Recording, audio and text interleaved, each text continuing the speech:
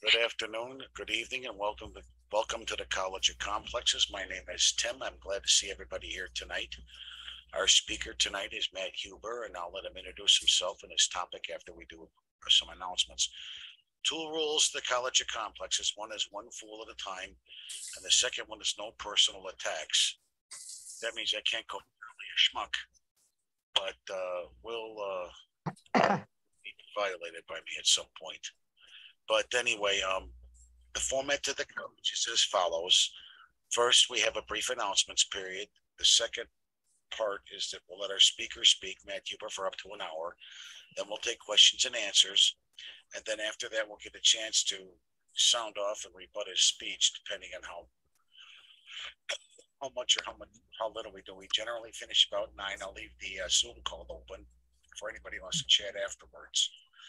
And uh, that's basically about it. Okay, Charlie, when you're ready, I'll pull the schedule up and let's do the announcements real quick. Okay, welcome everyone The meeting number 3685 of the College of Complexes, the playground for people who think. As always, a little a reminder here, we have a Google email group uh, with instructions top center of our main website with instructions on how to join that, as well as we offer a meetup group. And a very little traffic um, um, during the week. Uh, another bit of business. Will everyone please mute? Please mute so we do not disturb our speaker and show respect. Uh, as mentioned earlier, the video uh, of last week's program by Jeanne uh, on global issues has been added to our lecture library, which you are invited to visit as well uh, in your leisure time. Now, although I am not a capitalist, I will give an advertisement for our upcoming programs. On October the 1st, there's been a program change we're going to listen to Mr. Joseph Miller, who has declared himself as a candidate for mayor of the city of Chicago. Uh, so we'll, there you can see a narrative, a bio of what led him to run, seek this office. Transitioning into October the 8th, this is going to be on the ballot come November in Illinois, but they're trying to pass a work in, incorporate uh, an amendment to the Illinois Constitution called the Workers' Rights Amendment. The Workers' Rights Amendment. So if you are employed for a living, it is important and incumbent that you learn about this, vote for it, and encourage others to do so as well. On October the 15th, we'll be welcoming Illinois State Representative Theresa Mah, who will be enlightening us as to what is going on in the Illinois state capitol.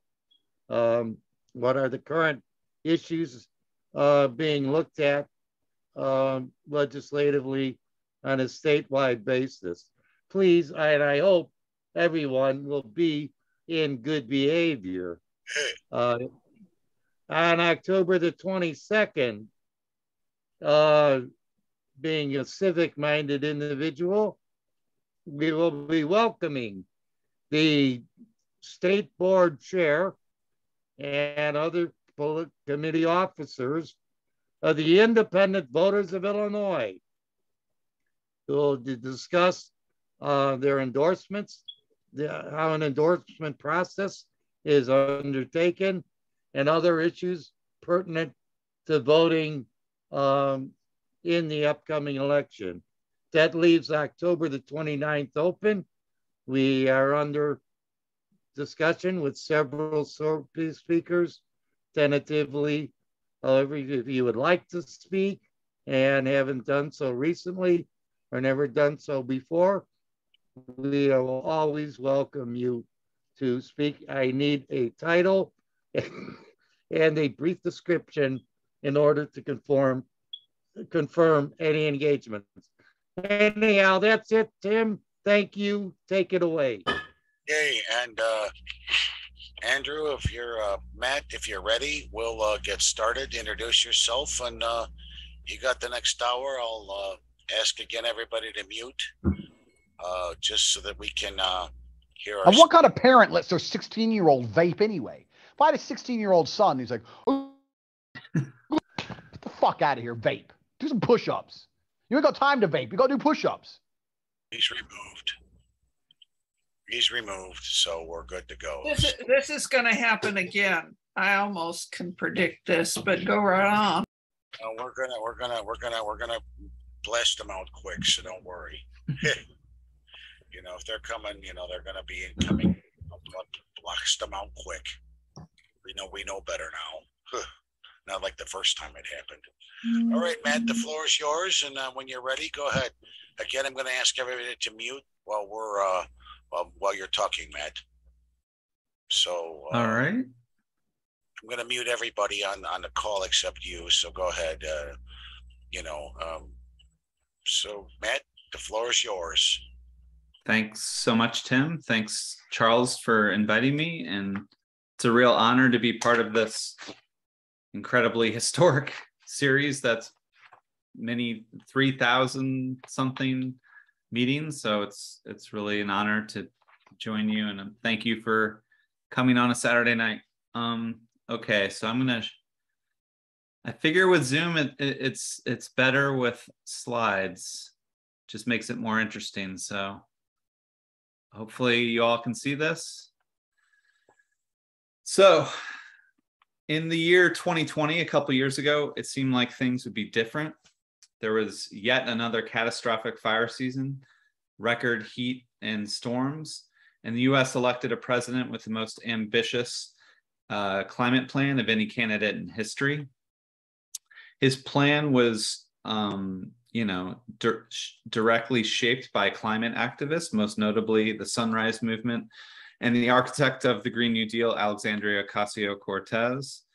Upon um, getting elected, Joe Biden pledged a quote, whole of government approach to the climate crisis and proposed to slash emissions by 50% uh, by 2030 and decarbonize electricity by 2035.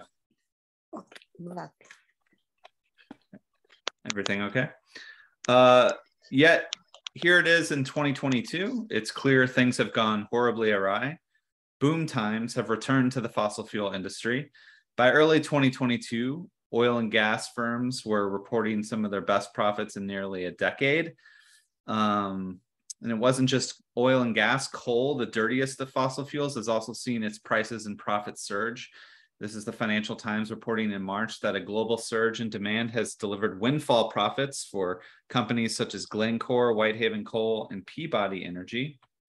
Peabody Energy reported a higher, much higher than expected profits this year.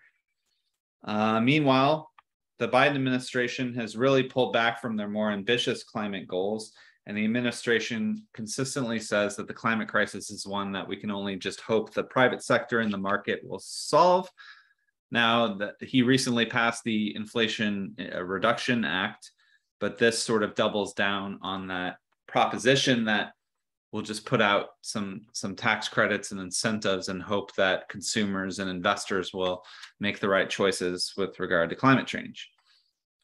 So we really have to ask ourselves, what can we make of this impasse between fo- fossil fuel production really gone wild alongside political inaction uh, and cascading climate disaster? So at its core, our problem can be boiled down to this. Those that profit from the production of fossil fuels will continue to do so unless society can force them to stop. And this is fundamentally a question of power. In the book, uh, which is called Climate Change as Class War, I argue that this power struggle is fundamentally a class issue, an issue of who owns and controls the means of production and to what end. And thus, it will, will require a class struggle to solve.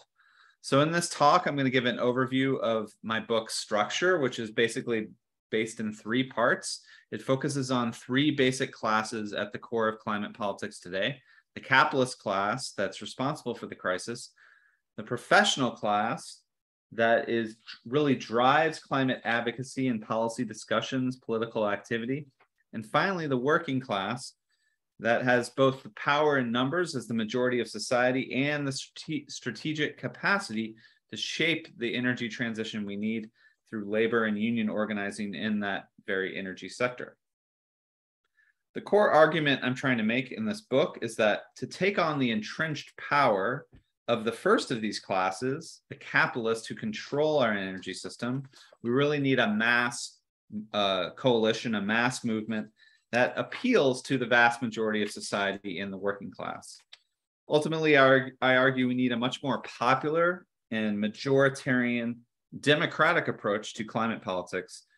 And the professional class form of climate politics is uniquely bad at this um, sort of more popular majoritarian approach. Now, I want to dive in to take a deeper dive into how to understand this idea of class and how it shapes our thinking of climate politics. The idea that climate change is a problem of class inequality has attracted wide attention as of late. In 2015, Oxfam released a report entitled Extreme Carbon Inequality that found that the top percent, top 10% of people in the world are responsible for 50% of emissions, while the bottom 50% are only responsible for a mere 10% of emissions. Famous economist Thomas Piketty found similar numbers. Um, just last year, there was a study that blamed wealthy lifestyles and what they call the polluter elite um, and their actions for the climate crisis. And in 2018, a widely cited study found that it could compare different lifestyle actions that one can take to limit their climate impact and found one choice was more powerful than all the others, which is not having children. Um, now, I want to be clear, I'm kind of critical of this particular way of thinking about climate change and inequality because all of these studies share two fundamental assumptions. First, they assume that class inequality is based on one's wealth, just purely on their wealth, income, and above all, their consumption or lifestyle practices. And second, and more perniciously, they link emissions and thus carbon responsibility to these same consumption and lifestyle practices. This linkage is based on a method of kind of carbon footprint accounting, a metric that allows anyone to kind of input their consumption practices, the car they drive, the meat they eat, the children that they might rear. You can put all, all that into a calculator and then it can precisely determine how many pounds of carbon you emit per year. So this linking of emissions purely to consumption-based footprints is so entrenched, it's rarely ever questioned in mainstream discourse. Even left or socialist discourse uh, basically argues that climate change is a class problem because of the rich's consumption practices. But what I want to suggest today is this vision of class is very impoverished. By, by placing responsibility for emissions solely on consumption, it actually accepts this quite um, problematic theory of consumer sovereignty, which is rooted in neoclassical economics and neoliberal ideology, which is a theory that really it's just dispersed consumers who have all the power in our economy and that the power is not in the hands of concentrated the concentrated hands of corporations who control the production of energy in our economy. So what I want to suggest tonight is that there are ways of thinking about class that don't focus primarily on your income or your consumption or your lifestyle choices. And, and that is a more traditional socialist understanding of class, which centers not on consumption at all, but on production. Class is defined by your relationship to the means of production. And that probably sounds old fashioned to some extent, but I would argue the climate struggle is ultimately a struggle over this. It's about industrial production. It's about not only how we produce energy, but industrial producers are also the most significant source of emissions. One estimate suggests that just steel and cement production alone are responsible for about 15 to 20% of global carbon emissions. The Intergovern Intergovernmental Panel on Climate Change also reports that the industrial sector alone is really a leading source of emissions at about 34% of the total. I'd also direct you to that AFOLU, which is agri- agriculture, forestry, other land use. That is also a lot of productive activities like farming and forestry um, and other types of production. Production is shaped by a fundamentally different logic than consumption under capitalism. Ownership of capital for profit, investing money with the hope of making more, is what is the logic that guides production in capitalism, while consumption that we all partake in is very different. We use money to kind of sustain our needs, to reproduce our lives, to, to acquire the means of life itself. However extravagant that consumption might be, it's not guided by this sort of capitalist profit motive that production is. So when we shift our class analytic to this part of the world, production, ownership, and profit uh, orientation, we can come to strikingly different conclusions about carbon and climate responsibility. First, we could point out that the entire idea of a carbon footprint was itself concocted by the very industry profiting off fossil fuels in the first place. A recent study asserts that the very notion of a carbon personal carbon footprint was first popularized by the the firm British Petroleum in 2004. And they're very happy to direct all attention and responsibility for climate change away from them and towards all of us and, and these ideas that we all have individual carbon footprints and so forth. Second, we should understand that every carbon footprint or individual moment of emissions or consumption is not isolated. It's actually a product of a web of social relations wrapped up in the production of that thing that's leading to emissions. So when you drive a car and you emit carbon out of your tailpipe, the gasoline in your tank flowed through the hands of innumerable people seeking profit off that exchange of your gasoline for your car. Oil exploration companies, consultants, rig service firms, pipeline companies, gas station operators. Yet carbon footprint methodology would assume that you should be 100% responsible for those emissions simply because you're at the end of that chain. Third, when we only focus on an individual's rich lifestyle in their consumption, we ignore how they became rich in the first place. And as it happens, that activity, how they generate their money and not how they spend it, could have much more significant climate impact. So you can, oops, you can take a CEO of a chemical company this person could spend eight to 12 hours per day helping organize a global network of chemical factories that emit millions of tons of carbon dioxide per year. As CEO, their income and their stock options are primarily derived from this activity, act, planning and expanding chemical, chemical production as a commodity for sale. Now, we can imagine this guy goes home in an SUV and eats a steak for dinner. Now, why is that activity, the steak and the SUV, the only activity we focus on when we talk about carbon inequality. Surely, the SUV and steak are just tiny drops in the bucket compared to this person's everyday role as this kind of titan of chemical capital. But here again, what I'm arguing is the main culprits for climate crisis are not just affluent consumers, but rather it's a, a smaller class of people who profit from the production of aviation, of automobiles, of steel, of chemicals, and other carbon intensive forms of capital. You know, if if Brad if Brad Pitt or a Hollywood actor drove a Hummer, but a fossil fuel executive took public transit, we wouldn't say that um, you know the the Brad Pitt is more responsible because he has a higher carbon footprint than the fossil fuel executive. Yet carbon footprint accounting would say the Hollywood actor has more responsibility than the fossil fuel executive because you only look at someone's consumption. I actually think this analysis really clarifies our political task. Instead of a moral project to convert the lifestyles of billions of dispersed consumers, we face a perhaps harder but also more straightforward political project to erode the power of a small class of people who control and profit from the production of carbon intensive uh, uh, systems. So that is the first part of the book that focuses on the capitalist class and it and its ownership and profit orientation towards production as being the ultimate culprit. The second part of the book focuses on who really drives climate politics in our world today, and I argue that is what I call the professional class. This class is made up of credential degree holders like journalists, like scientists, like academics, like myself, like uh, people that work at non-governmental organizations like NGOs. These are the people that are at the core of climate advocacy. And this, by the way, this class also happens to be the class most invested in this kind of moral politics about making the right lifestyle choices and lowering your carbon footprint and all this kind of stuff.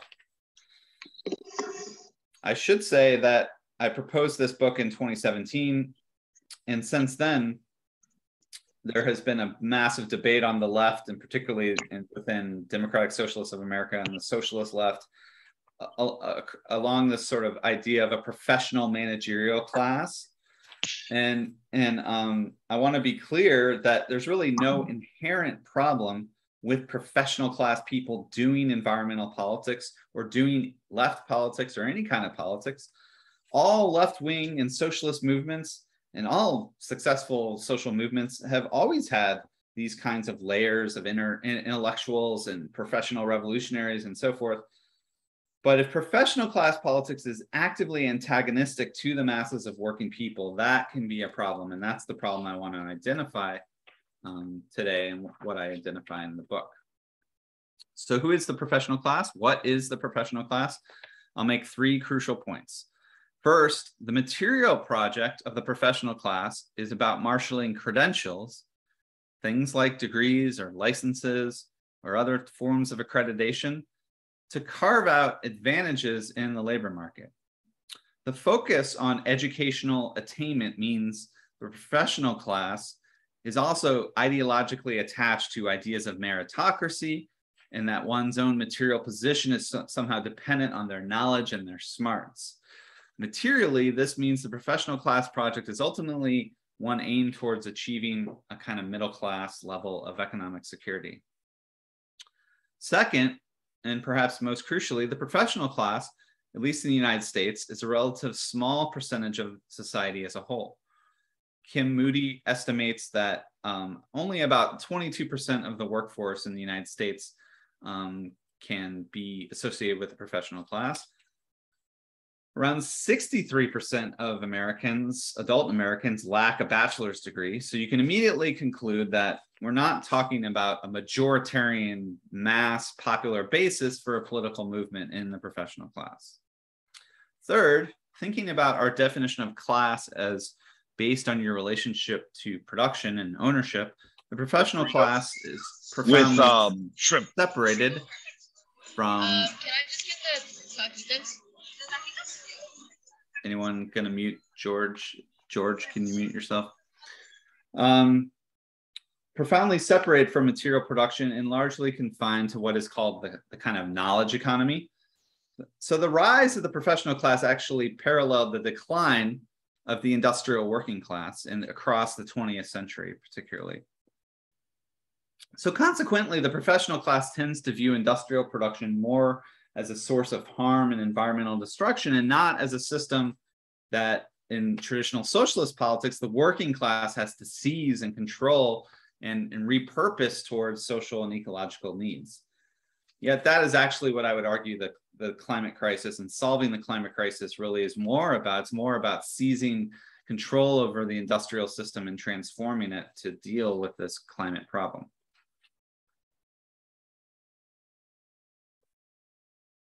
So on this basis, we can uh, identify two basic approaches to shaping professional class climate politics. First, it is deeply invested in the politics of knowledge, a politics of belief or denial in the science of climate change. You can think of the March for Science during the Trump years as a kind of mass action of the professional class and this kind of outrage and focus on post truth and the war on facts and all this kind of stuff. The second point, because of the professional class's relative material comfort, comfort and separation from production, professional class environmental politics is often rooted in a kind of anxiety around their own consumption, or what in chapter four of the book I describe as carbon guilt. At the core of the professional class politics is a contradiction.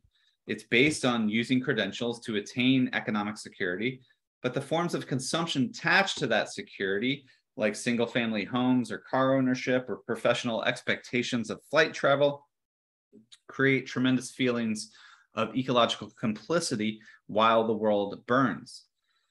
This leads to the idea that they themselves are the core drivers of climate change and not the owners of capital, as detailed in the previous section.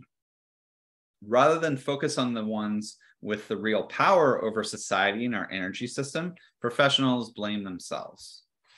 So, in this book, I categorize three core professional class types that have driven climate politics for the last several decades.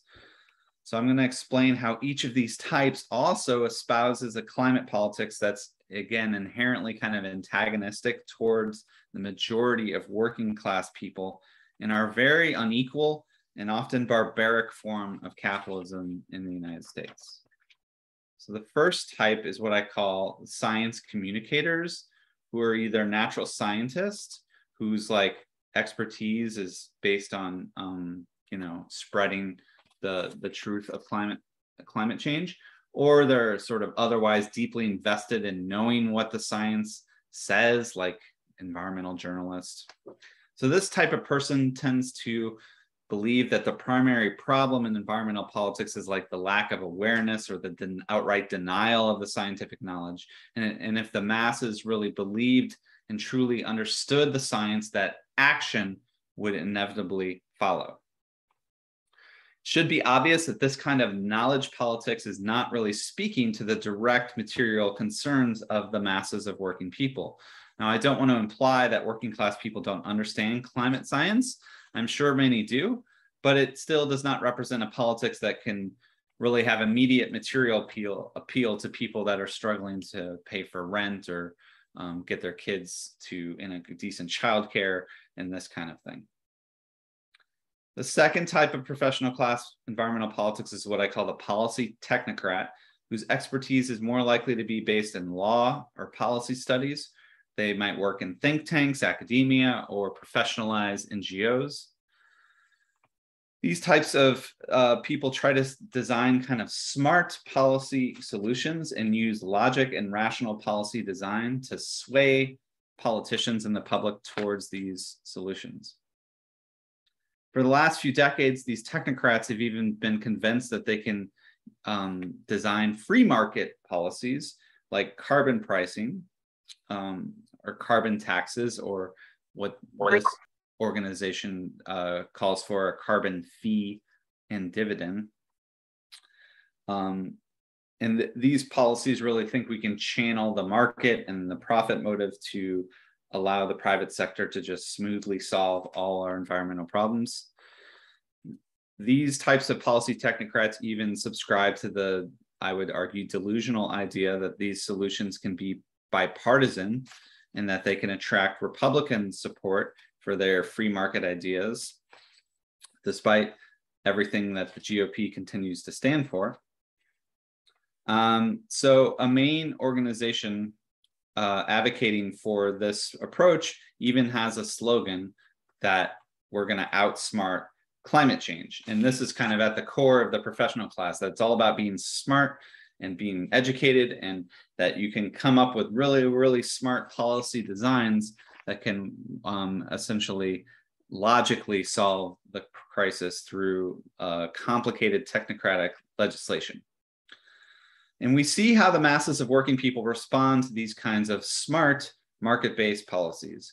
Carbon tax referendums failed in Washington state, oops, Washington state in 2016 and 2018. And as the yellow vest movement, the Gilets jaunes movement in France, they responded to a carbon tax put down by Macron in France with the slogan, politicians are concerned with the end of the world, we are concerned with the end of the month. So these types of policies are not particularly popular. Consequently, workers are increasingly receptive to the right wing view that environmental policy will harm their economic lives. If anyone mobilizes class politics in the climate fight, it's actually the right who consistently cites the economic consequences of climate policy in the form that it's going to cost jobs or economic competitiveness or um, lead to uh, less economic security for all. Here is arch climate villain Charles Koch of the oil-based Koch Industries, where he frames himself a friend of the working class because he's concerned about climate policy raising the cost of energy for poor people. Finally, there's the third type of professional class climate activists is what I call the anti-system radicals, whose own exposure to the science of ecological collapse leads to a kind of political radicalization. And again, their professional class location creates a context of kind of relative material comfort and economic security. So they tend to focus most of their attention on the need to lessen consumption and overall leads to a kind of what I call a politics of less.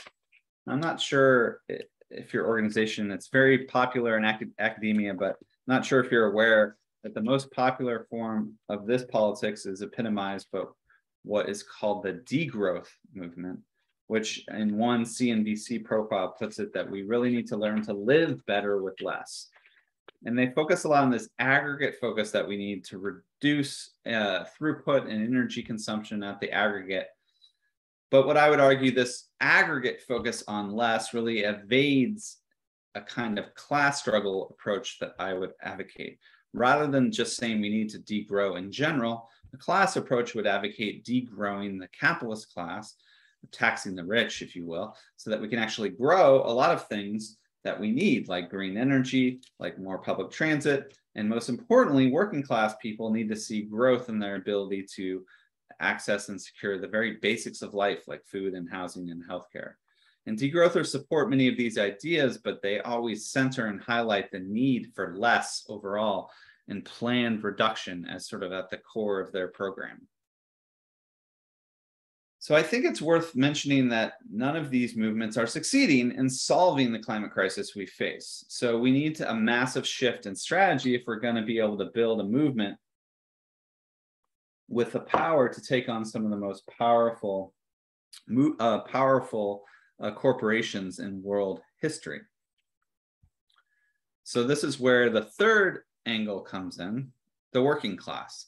Again, this is largely a democratic argument and it's not just an electoral argument about, uh, you know, this again, this, I really recommend this book called The Working Class Majority, which sort of crunches the numbers of all the various types of occupations in the United States and finds that even if you take out the professionals and the managers, you're really talking about 63% of the workforce is um, uh, in kind of very low wage, very precarious, very uh, often very manual forms of labor as opposed to mental or knowledge forms of labor.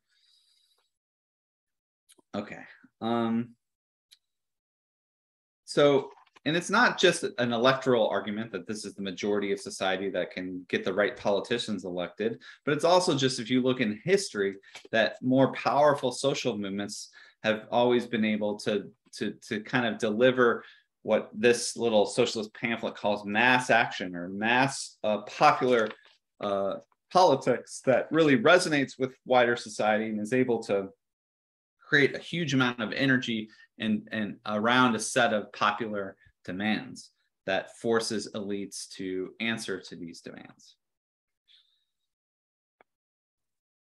So the first step toward a kind of working class climate politics is is finding a way to counter this right wing narrative that climate action is not in the interest of the working class. So, if the working class has kind of basic material interests, can we say that those are connected to solving climate change? Is there any connection at all between what workers' basic material needs are and the planet of uh, the planetary crisis of climate change? Answering this, I think, requires going back to a basic kind of socialist definition of the working class, or what Karl Marx called the proletariat, as a class that's fundamentally separated from the means of production, and really a class that was only formed once it was actually expelled from the land or dispossessed from the land or any secure means of subsistence. We can see that once the the mat, you know, this only happened over the course of maybe 500 years, but as the more and more people are torn from the land, they're torn from the very basic uh, secure access to subsistence and survival. So what defines the working class under capitalism is this fundamental proletarian insecurity in accessing the basic means of life itself. And this is, I argue in the book, like really ecological. You know, we are living ecological beings, and the fact that capitalism withholds our basic needs from us really is an ecological problem. In fact, uh, Alexandria Ocasio Cortez uh, herself, when asked to define what democratic socialism means to her, she just said, in a very wealthy, the wealthiest country in history, no one should be too poor to live. Yet in the United States, in the richest country on earth, there are a tremendous economic deprivation that happens on a huge bulk of the population. Something like 64% of our country lives paycheck to paycheck all these stats I'm going to say are really exacerbated by the inflation crisis that we're experiencing right now. Huge proportions of uh, struggle to afford basic things, like one one fifth struggle to afford food, about one third struggle to afford utility bills, which is at the core of the climate crisis. 50% struggle to afford housing, two thirds struggle to afford healthcare in our particularly barbaric country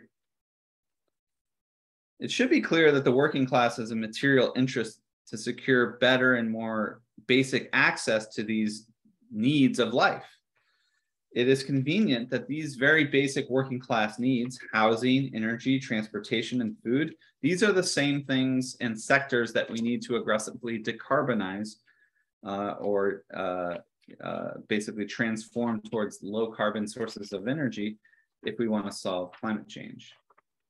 So if we could pair decarbonization with cheaper or free or what socialists call decommodified access to these basic needs, that could be a way to construct a more working class climate program. Note that this kind of interest in climate action would have nothing to do with living better with less or material sacrifice or knowledge of the science or belief in the science. It simply would seek to appeal to people's everyday material needs that they struggle to secure.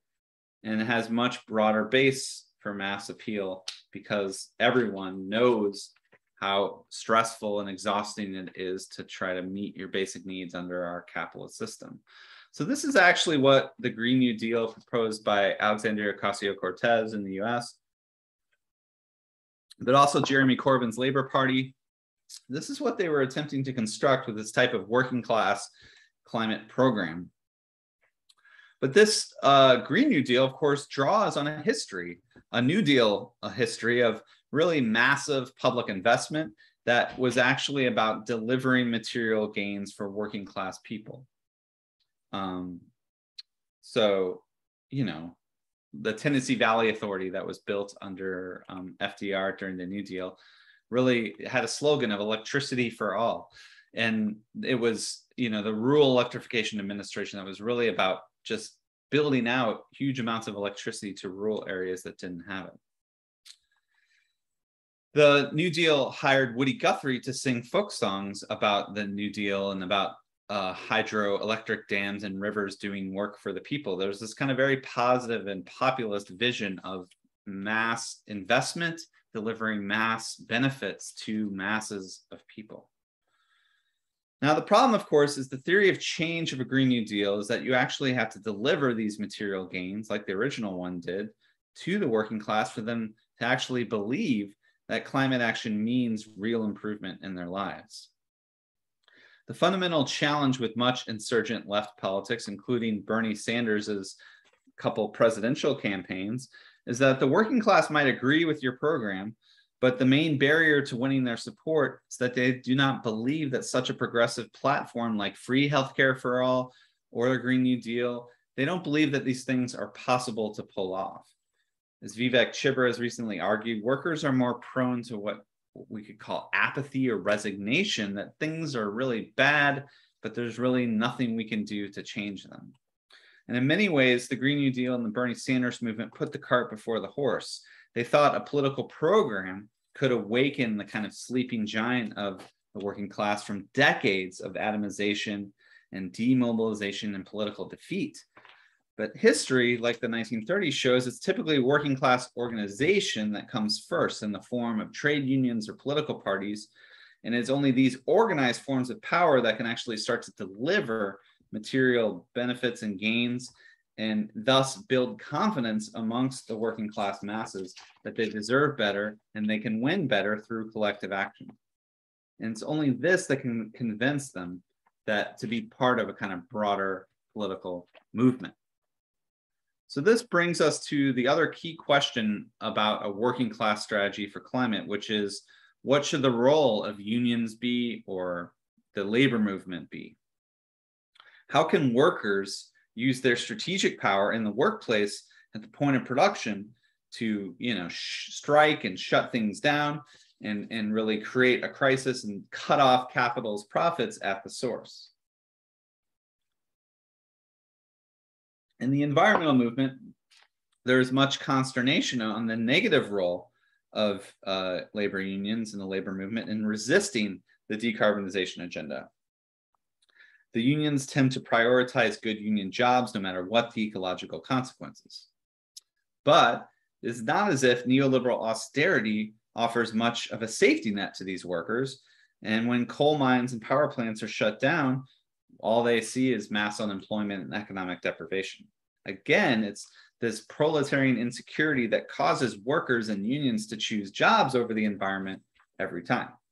Now, the standard left response to this dilemma is say that we're going to create something called a just, uh, just transition. And this is an idea that uh, displaced workers in the fossil fuel industry or, or dirty industries should be given support as they transition into the clean energy economy or, or other sectors that are better for the planet.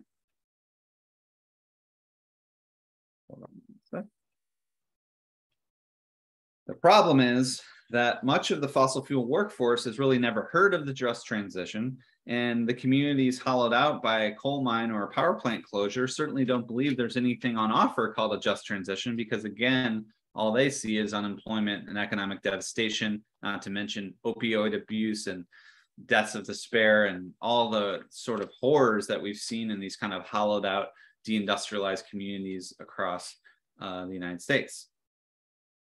So we should not forget that the whole idea of a just transition came from this legendary union leader and environmentalist named Tony Mazzocchi.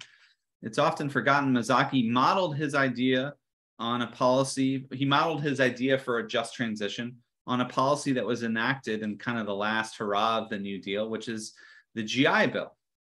Over nearly three decades, the GI Bill helped more than 13 million former soldiers find civilian employment, transition to, from a war economy to a civilian economy, and pursue other kinds of educational opportunities. Rather than kind of sloganeering around a just, just transition, a real just transition would need this kind of mass public sector uh, welfare state expansion effort to actually convince these fossil fuel workers that that there is actually something for them if we were to rapidly phase out the fossil fuel industry.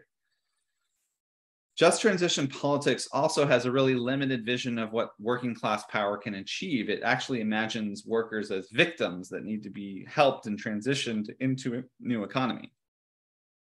And of course, this is true.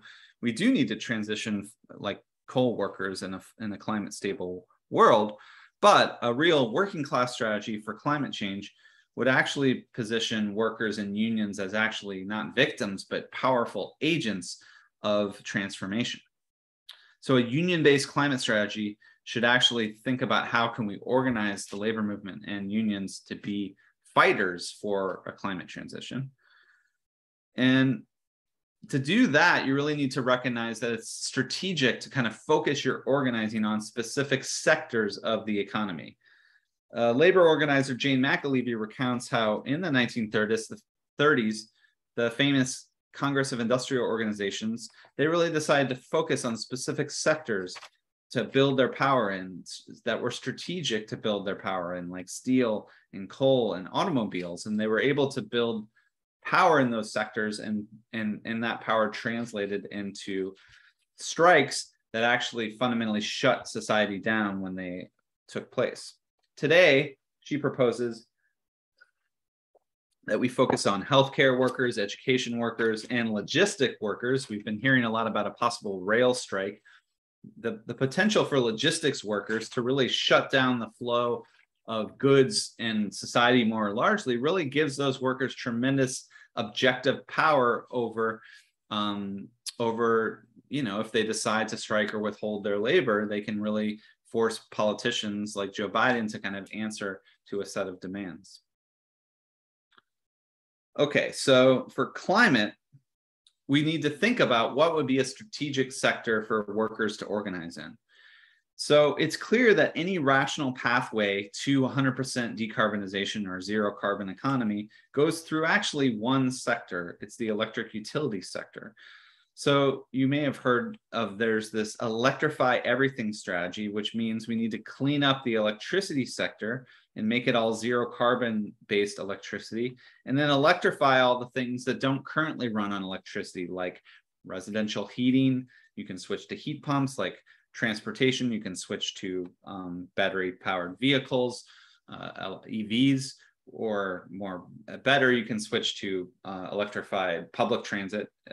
Um, uh, and we need to sort of figure out how to deal with a lot of harder to, de decarbonize uh, industries like industrial heat processes, aviation, and, and electricity has limited application in those. But if you can just clean up electricity, electrify a whole lot of stuff, you're doing about 80 to 90% of the stuff we need to do to really decarbonize. Yet, few Green, Green New Deal activists have really pointed out that the electric utility sector is already one of the most unionized in the entire economy, about 25% union membership in 2020. So, this could be our strategic sector to organize in for climate movement and the labor movement. These workers are represented by unions like the International Brotherhood of Electrical Workers and the Utility Workers Union of America. So if the climate movement wants to get serious, it really should try to win these unions to their side in order to transform the very sector that these workers are in, and that's at the core of any solution that we're going to construct. We also should point out that renewable energy industries like solar and wind are notoriously non-union actually and they're run almost entirely for profit by private capital. They're owned by wall street. And climate activists really should make an argument that that these unions in the electric sector really should mount a long-term strategy to ensure that the energy transition is controlled by the unions. And then and otherwise, if they don't really fight and if they don't have a strategy, they're going to be swept away or destroyed by this kind of renewable form of green capitalism. So, in conclusion, um, it's eight o'clock. So, in conclusion, there's one last motto of traditional working class politics that we should talk about, which is internationalism, socialist internationalism. The famous socialist anthem, the Internationale, claimed that it wanted to unite the human race. Now, in the face of the prospect of human extinction and planetary ruin, we need a new kind of sort of ecological internationalism that's not only about emancipating and uniting the, the, the masses of humanity, but saving humanity from this planetary ruin. Now, ecological politics often really points toward reuniting local communities with local ecologies or returning to the land and localizing farm systems. But on the other hand, a proletarian ecological internationalism would have to be planetary in scope. And again, Marx and others and socialists believe that it was the working class that was torn from the land and torn from any kind of direct local or parochial concerns that made the, wor- the working class under capitalism and the proletariat, this kind of universal class, a class that could indeed unite and emancipate humanity as a whole. And I do think we really should assert a wider human interest in the very core of the climate crisis, which is energy.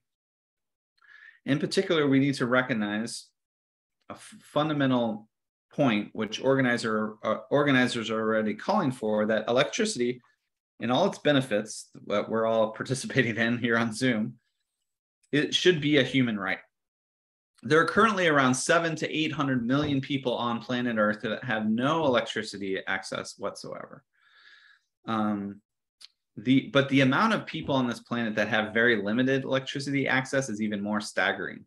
The energy analyst Robert Bryce recently did some calculations to reveal that his his and probably mine and yours refrigerator only consumes about a thousand kilowatts per year, which is more than the annual consumption of about 3.3 billion people on Earth. So that's about 45% of the planet right there that consumes less per year than your refrigerator. So there can be a mass politics of delivering electricity to these masses of impoverished people while decarbonizing that electric system and solving climate change at the same time.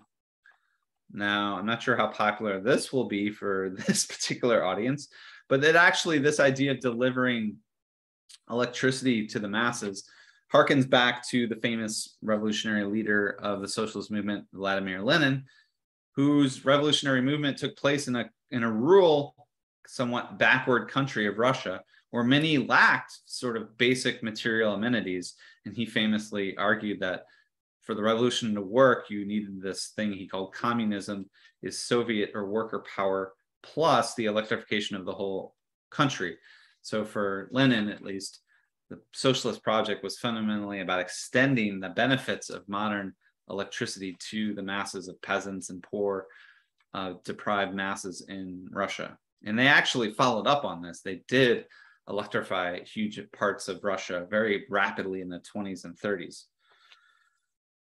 So I would propose we should resurrect this kind of vision for working class emancipation and hu human uh, saving uh, survival through energy systems to stave off climate disaster.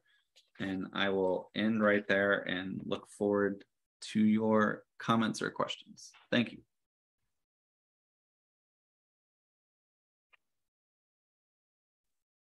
Sorry about that. Nature was calling for a little bit, so now we're into our question time. And uh, who's got uh, first questions? Matt, I got a question for you first. There's a gentleman out there who talks about human flourishing, and that there's a we have a moral obligation to use fossil fuels to to uh, support human flourishing, versus uh, um, you know instead of regarding all of our usage of fossil fuels is a bad as a bad thing that we should be using it as a good thing because we've had humans flourishing for the last 300 years and that until we can get a replacement in for the large amount of power that we should continue to use fossil fuels. Can you comment please? Yeah i don't know if you're talking about alex epstein. That's exactly who i'm referring to as alex epstein.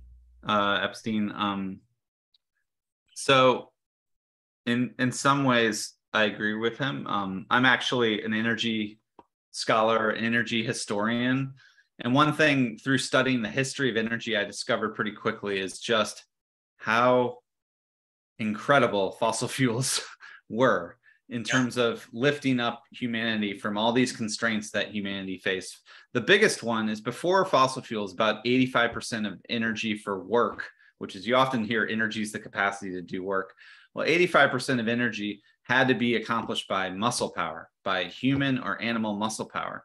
And, and that created a society that just was fundamentally exploitative. And, and, and obviously it included things like slavery and all sorts of just brutal, coercive, violent forms of, of exploiting the, the, the, the real muscular labor of humans and other animals to just get the basic work done to reproduce society fossil fuels, not just fossil fuels, but particularly the industrial revolution of automatic machinery and machines allowed us to break free from that kind of labor constraint. The other massive thing we need to think about is um, before fossil fuels, if we wanted to use energy, we needed to devote a lot of land to that energy use. So particularly, say you wanted to smelt iron down for an iron industry. Well, to do that, you needed forests of of fuel. You needed wood to create charcoal, which was the fuel of choice for those types of industries.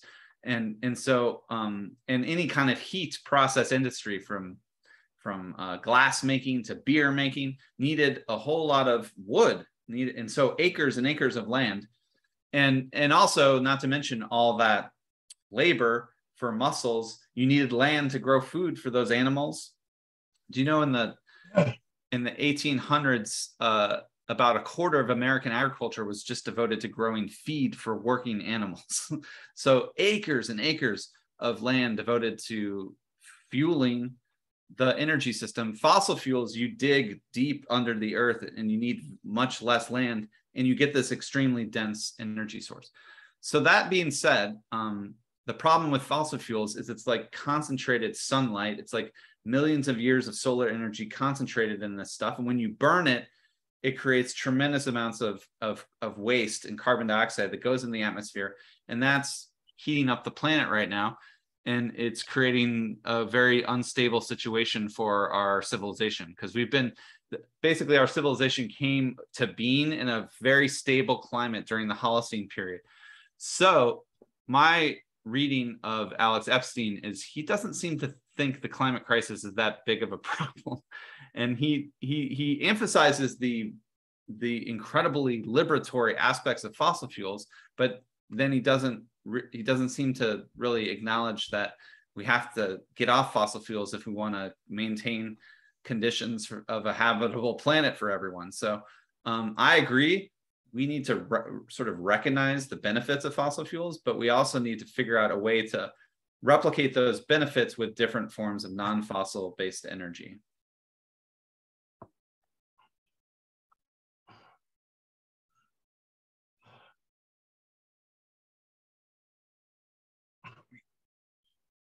Should I call on people? I, I, I see hands. I'm saying as a corollary, uh, what do you think about the uh, molten salt reactor, the, the thorium molten salt reactor, if you've ever heard about it? And then we'll get into other people. Um, I'm uh, I don't know much about the thorium salt molten reactor, but I will say, I will say I'm I'm a big proponent of of nuclear energy simply um, because it does have similar benefits, uh, particularly in land use a- aspects that fossil fuels prevent, and it can provide reliable 24 7 power and I think, and it's not just me. I mean, the the IPCC and other scientific models that say like, how are we going to get off fossil fuels? They all agree that there's got to be some role for nuclear power as the when once you build these things, it's basically zero carbon energy. So I do think that has to be a huge part of the equation. All right, Dan and Lana, you're up next. Go ahead and answer your, ask your question. Okay, uh, my question is about the radical people you said, not professional, but there's groups like Science Rebellion and mm-hmm. XR Extinction Rebellion. Yeah. And um, I'm just thinking, are those you you didn't consider those groups? Right. They don't plan to change the system. They glue themselves to more uh, Chase Bank. Yep. They lay down in the street. Yep. What do you think of that?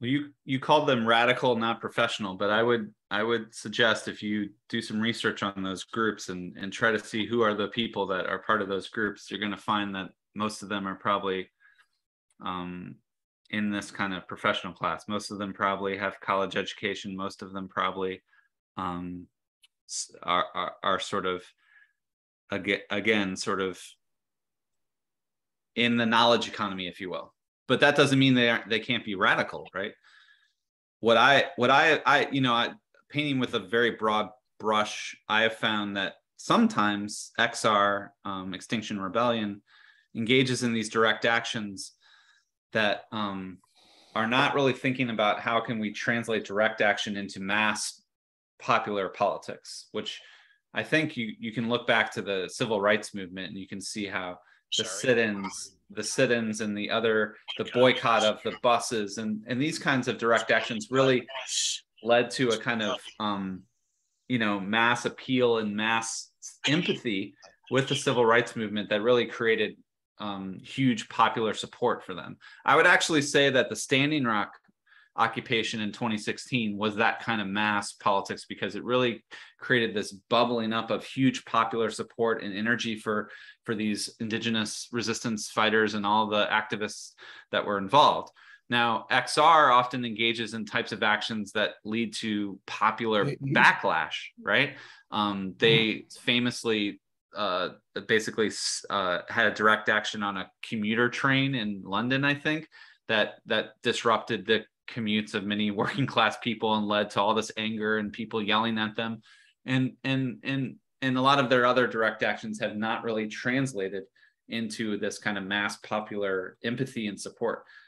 Uh, maybe they could figure out a way to do that but right now i don't i don't see that. I don't know a ton about science rebellion but just the fact that it's i if i know if i i'm pretty sure it's scientists right who are part of that group and that is again that's one of the core categories of the professional class that I'm talking about.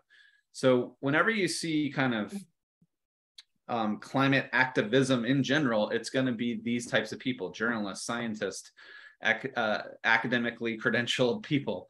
And, and my argument is that these people tend to think like each other. They, they, they live in these kind of cultural bubbles. They all speak the same language and they don't necessarily know how to reach a wider mass popular base uh, which is what we need to, to actually build the power to take on the fossil fuel industry. All right, Jacob, we're going to have to kind of shorten our answers a little because we got a number of people with questions. Jacob, yeah, from, sorry. That's all right. Jacob from NYC, unmute and ask your question. Yeah, I created a uh, group on Facebook. It's called, can you hear me? Yep. Yes, we can hear you. Okay uh, called Creating a Wonderful World. And there I list all the solutions, uh, as many as I can find over the past 10 years, all very wonderful, creative, practical solutions to many of our problems facing mankind. The, but the major problem, and this is what I want to hear from Matt, is what is your proposal to actually implement these solutions, not just on a small scale, but on a grand scale? Yep. I want to know your strategy. I want to know your plan of action, right? I've developed it in, I have one in uh, Creating a Wonderful World group, but I'd like to hear others. What is your strategy? What is your plan of action? And what are you doing about it to actually be in a position to implement the solutions? Okay. Um, it's, Otherwise, it's just talking, you know. Yeah. So ultimately, I was very optimistic and hopeful and organizing strongly um, among this kind of movement that was personified by Alexandria Ocasio Cortez and the Green New Deal. But the basic idea is that what we need is a massive, like World War II level mobilization of investment, right? That's what we need to solve climate change. We need big bunch of investment in building a whole new energy system, but also building uh, new, uh, you know, retrofitted green housing. We need new public transit. We need so, and, and we need massive new transmission lines and all the rest of it. And to to be honest, I think the the original New Deal gives us a lot of hope that at least historically we were able to do that kind. I mean, that's what the New Deal was. It was a massive public investment program. They didn't just build big energy systems and transmission lines but they built schools, they built libraries, they built music amphitheaters, they built. It, it was just an incredible um, state-led, public-oriented uh, investment program, um, and so that is and and actually you can look at um, some countries around the world that actually during the energy crisis in the 1970s, France and Sweden decided to because of the insecurity of oil and fossil fuels, they decided to just massively build out nuclear power and they rapidly decarbonized their electricity sector in about 10 years. So those are examples of and and I think the key is the power of the, the state is really there, there's no avoiding the state in this kind of strategy because we have so little time to solve climate change and and we need a, the only thing that really has the power and fiscal capacity to do that kind of mass investment program is the state. So um, the problem you know this kind of movement really was attached to kind of bernie sanders in the 2020 cycle and that lost. So now we're kind of trying to trying to recalibrate about what can we do um, in the interim and hope that maybe in the next decade or so political conditions might change where that kind of opportunity for a more kind of left-wing redistribute redistributist sort of politics that focuses on taxing the rich to to invest in a massive um, public sector led investment program would be on the table. It's not really on the table right now. I will acknowledge that, but um, my I'm not good at short answers. The other part of the strategy is, of course, building up the power of the labor movement, which is what my talk tried to talk about. Building worker power in the electricity sector is a more focused kind of labor organizing strategy that we can do today and do right now. And um, I know people in Democratic Socialists of America are doing that very thing. They're getting jobs in uh, the electric industry. They're getting jobs in the unions like the International Brotherhood of Electrical Workers. So this is this is a more concrete. And I, I actually think any unions can be powerful in, in, in calling for transformative change. So a lot of people are getting jobs as teachers or nurses to try to build a much more militant working class movement in the unions and in the labor movement. That I think is the most powerful thing we can do today. Okay, Charlie, you're next. Yes, Matthew. Uh, I'm of communist persuasion and a party member. And I'm often told uh, that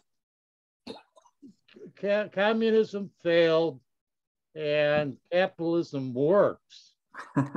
capitalism works. I was wondering, how would you respond to their assertion that capitalism works? Uh, well, it's it's funny because capitalism, you know, it, that's a tough one. Well, looking at the figures of 63%, yeah, don't have a, a standard of living. Yes. And I was also surprised, I'll be honest with you, if I may get, get lengthy here, that it looks like Bangladesh or the places in Asia with sweatshops are locations where the people do not have electricity. I, I believe that was on the map so that even people are employed in these oh, oh increasing standard of living sweatshops better to have a job than no job. Still do not have electricity at home. Yeah.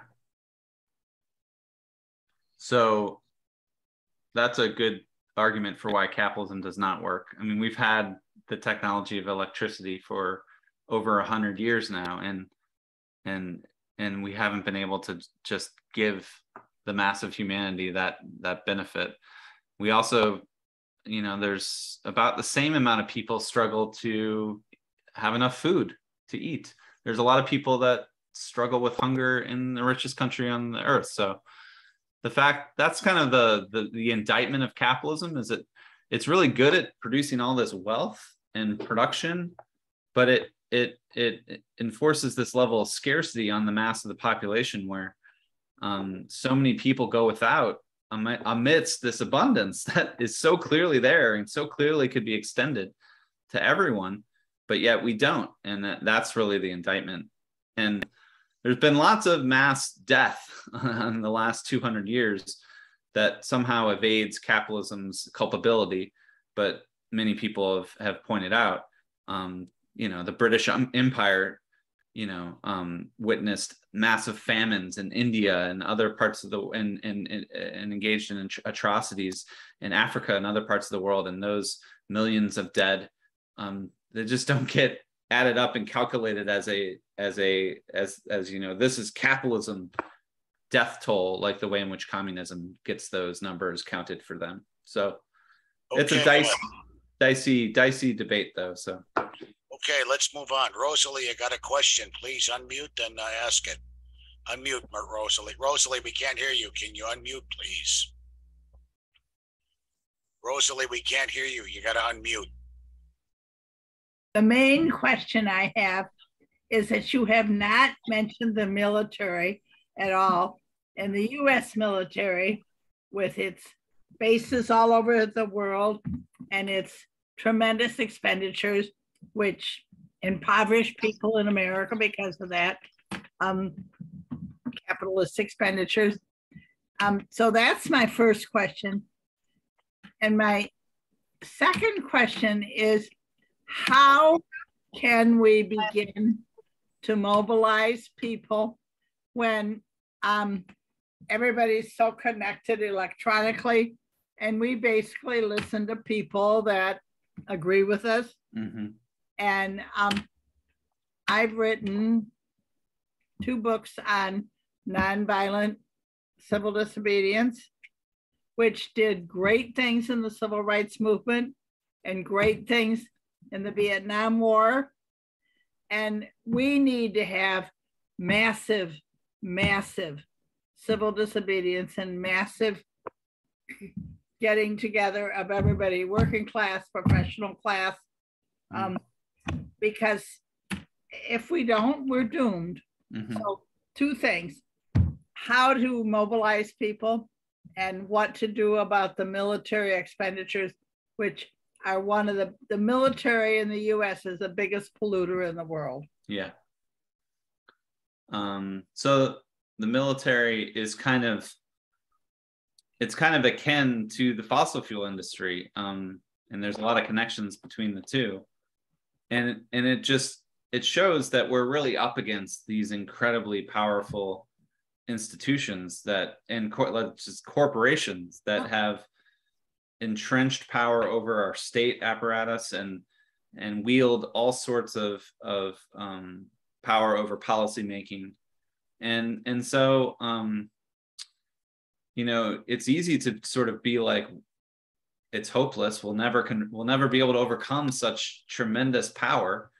Um, but the only thing that gives me hope is you can look in history. And there have been and you were just talking about there have been examples of entrenched power structures who benefit from the exploitation of of a majority of the public and and their power was overcome. Um, you can look to the abolition movement where you had literally the the plantation owners were 1% of US society and they derived all this wealth from slavery and all this profit and their power seemed uh, insurmountable. And you know in 1820 the abolitionists seemed like a hopeless movement that could never and and and decade after death decade they chipped away and they built particularly they built what i was referring to as a kind of mass politics through if you can believe it the republican party at the time which emerged as this third party and kind of had this very populist mass politics about abolition but also free free land and free labor for the masses of, of people.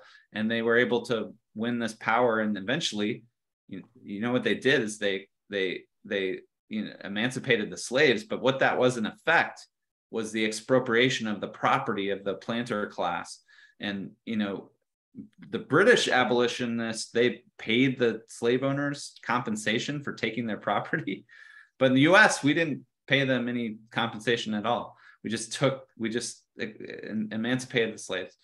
Um, and then you look at the the labor movement in the 1930s where basically workers went on strike all over the country shut down minneapolis san francisco. They basically created this militant uh, labor action that forced fdr to engage in a much more radical um, uh, program that was based on massively taxing the rich massively extending labor rights to the the workers and the unions and Wall Street was trying to overthrow FDR for this. There was a, a plot to, to coup FDR, if you can believe that.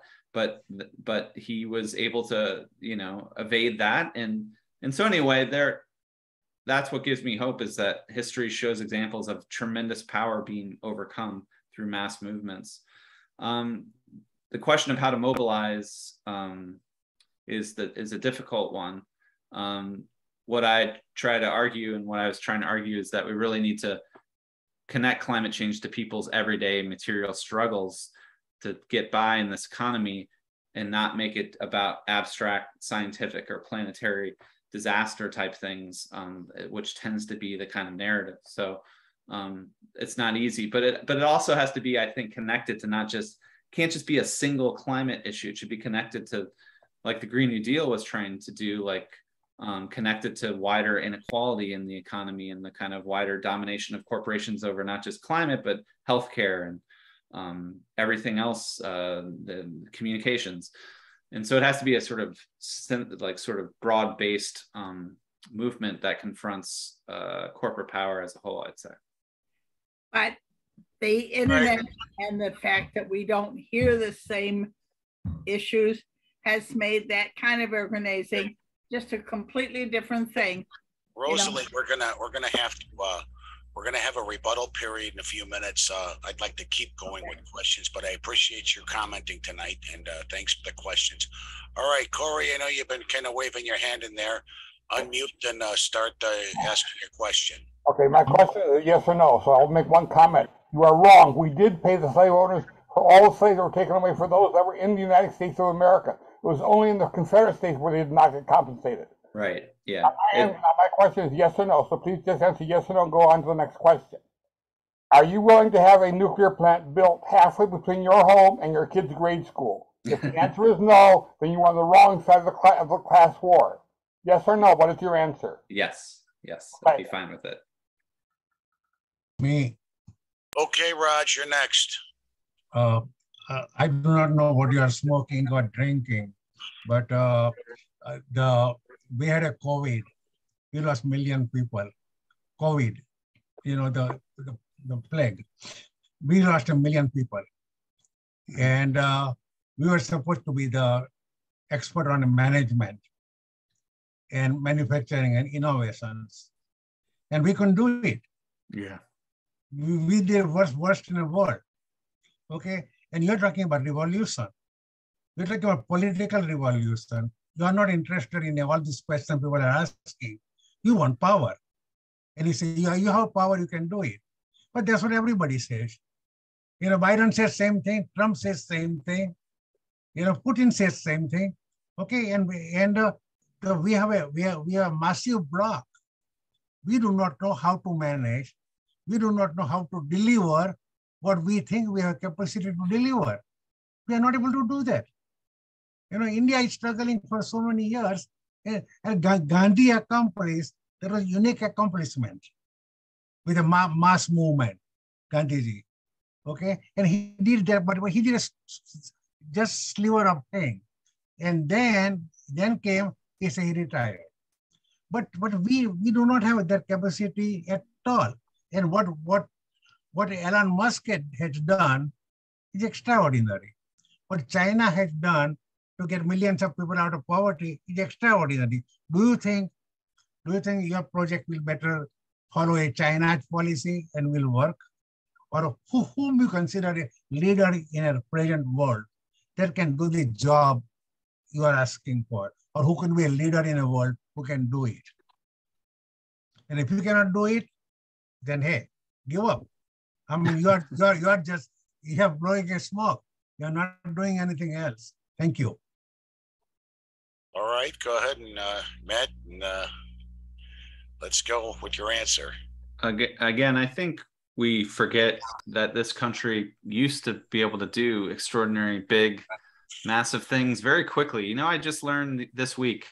I didn't know this, but we built the Empire Empire State Building in one year. It took one year to build the Empire Empire State Building, and in the New Deal, we Please, basic please. base. I said, let me intervene. Okay, please don't go yesterday. Okay, yesterday was small country. You, Salt Lake City, I lived, population was hundred thousand.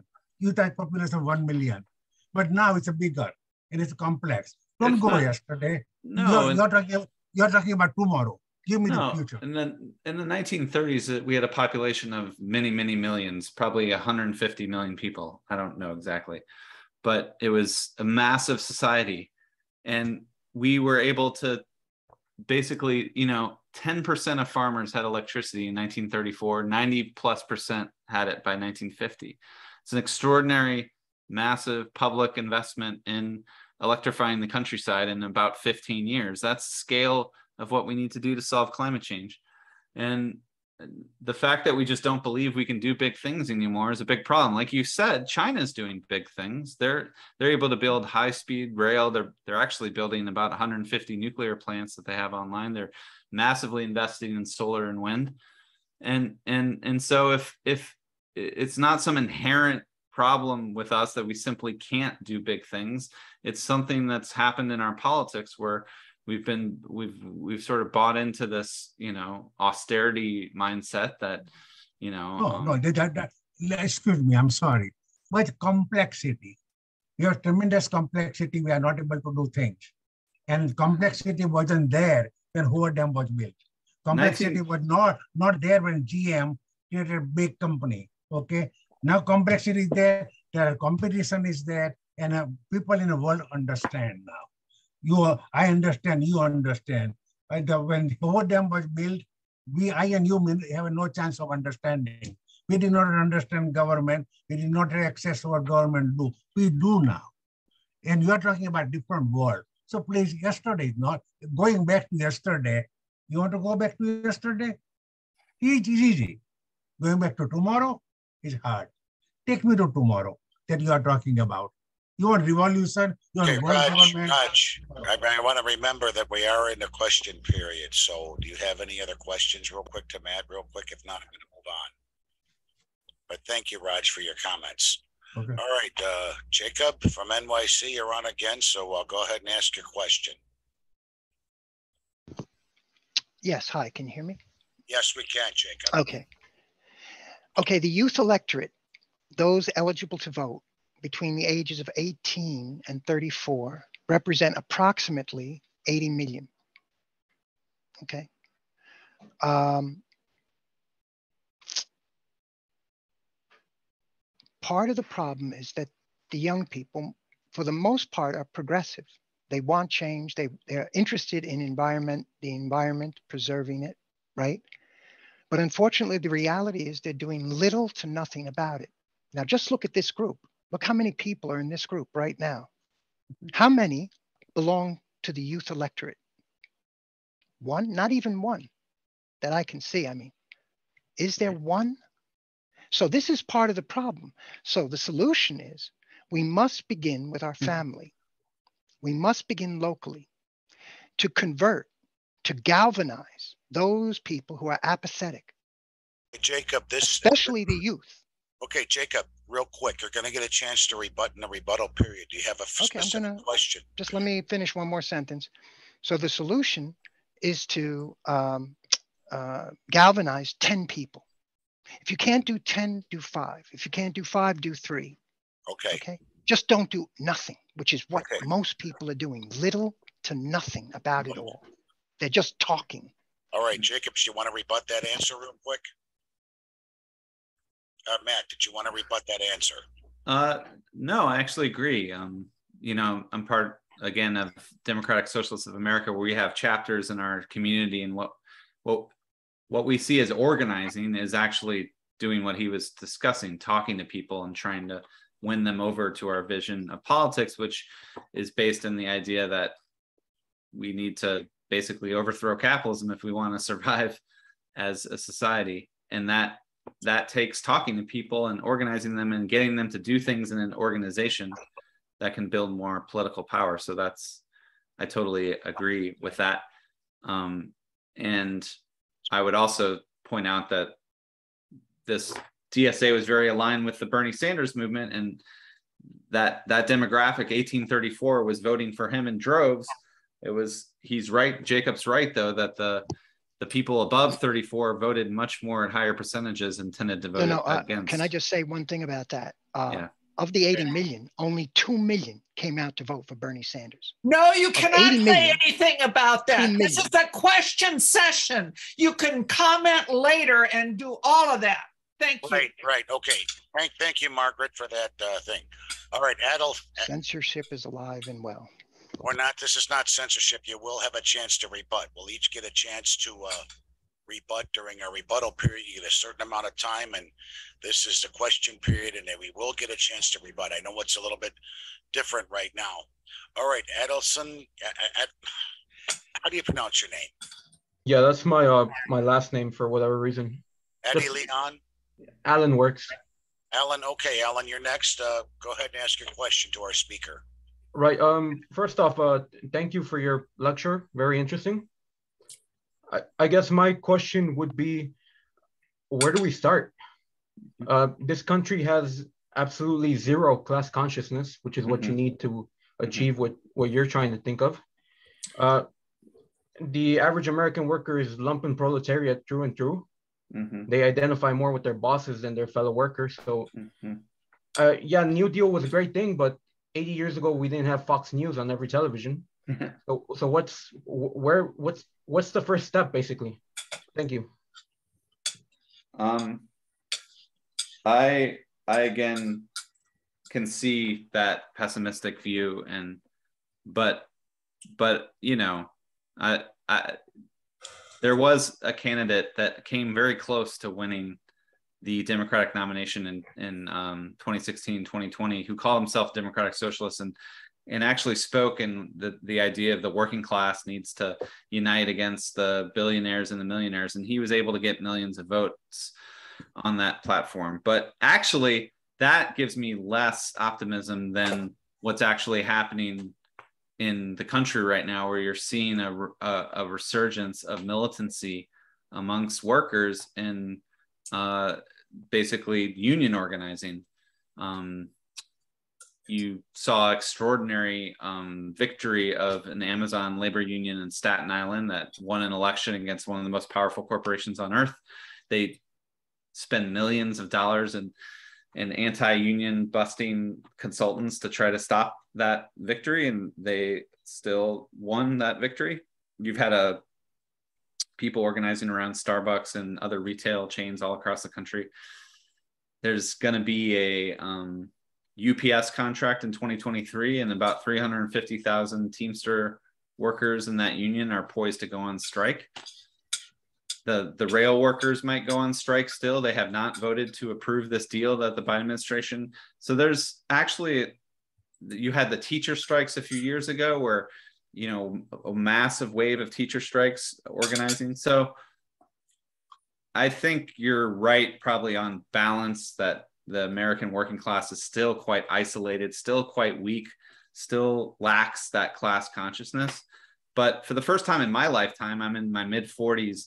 I see a little bit of an awakening and a little bit of activity and, and action.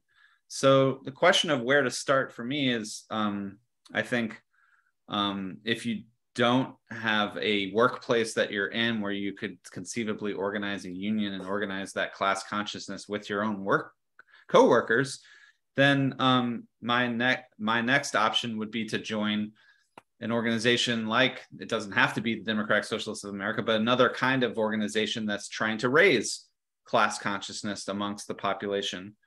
And that's all we can do. It's a, it's a huge uphill battle. Um, but we're still in capitalism. We were in capitalism in the 1930s and we're in capitalism today. And as long as we're in capitalism, at least my view is that the working class has potential to be organized into an extremely powerful force because they ultimately the whole society depends on them doing the labor and doing the work to keep society running so they hold the power in their own hands even though they haven't really been good at using it for the last several decades All right. All right. All right. Rosalie, you're next. Unmute and uh, ask your question, please. Well, my question is how can we get the unions to be the unions they used to be? yeah I, I was born in 1937, Hmm. the height of in Flint, Michigan, yeah the height of the union movement.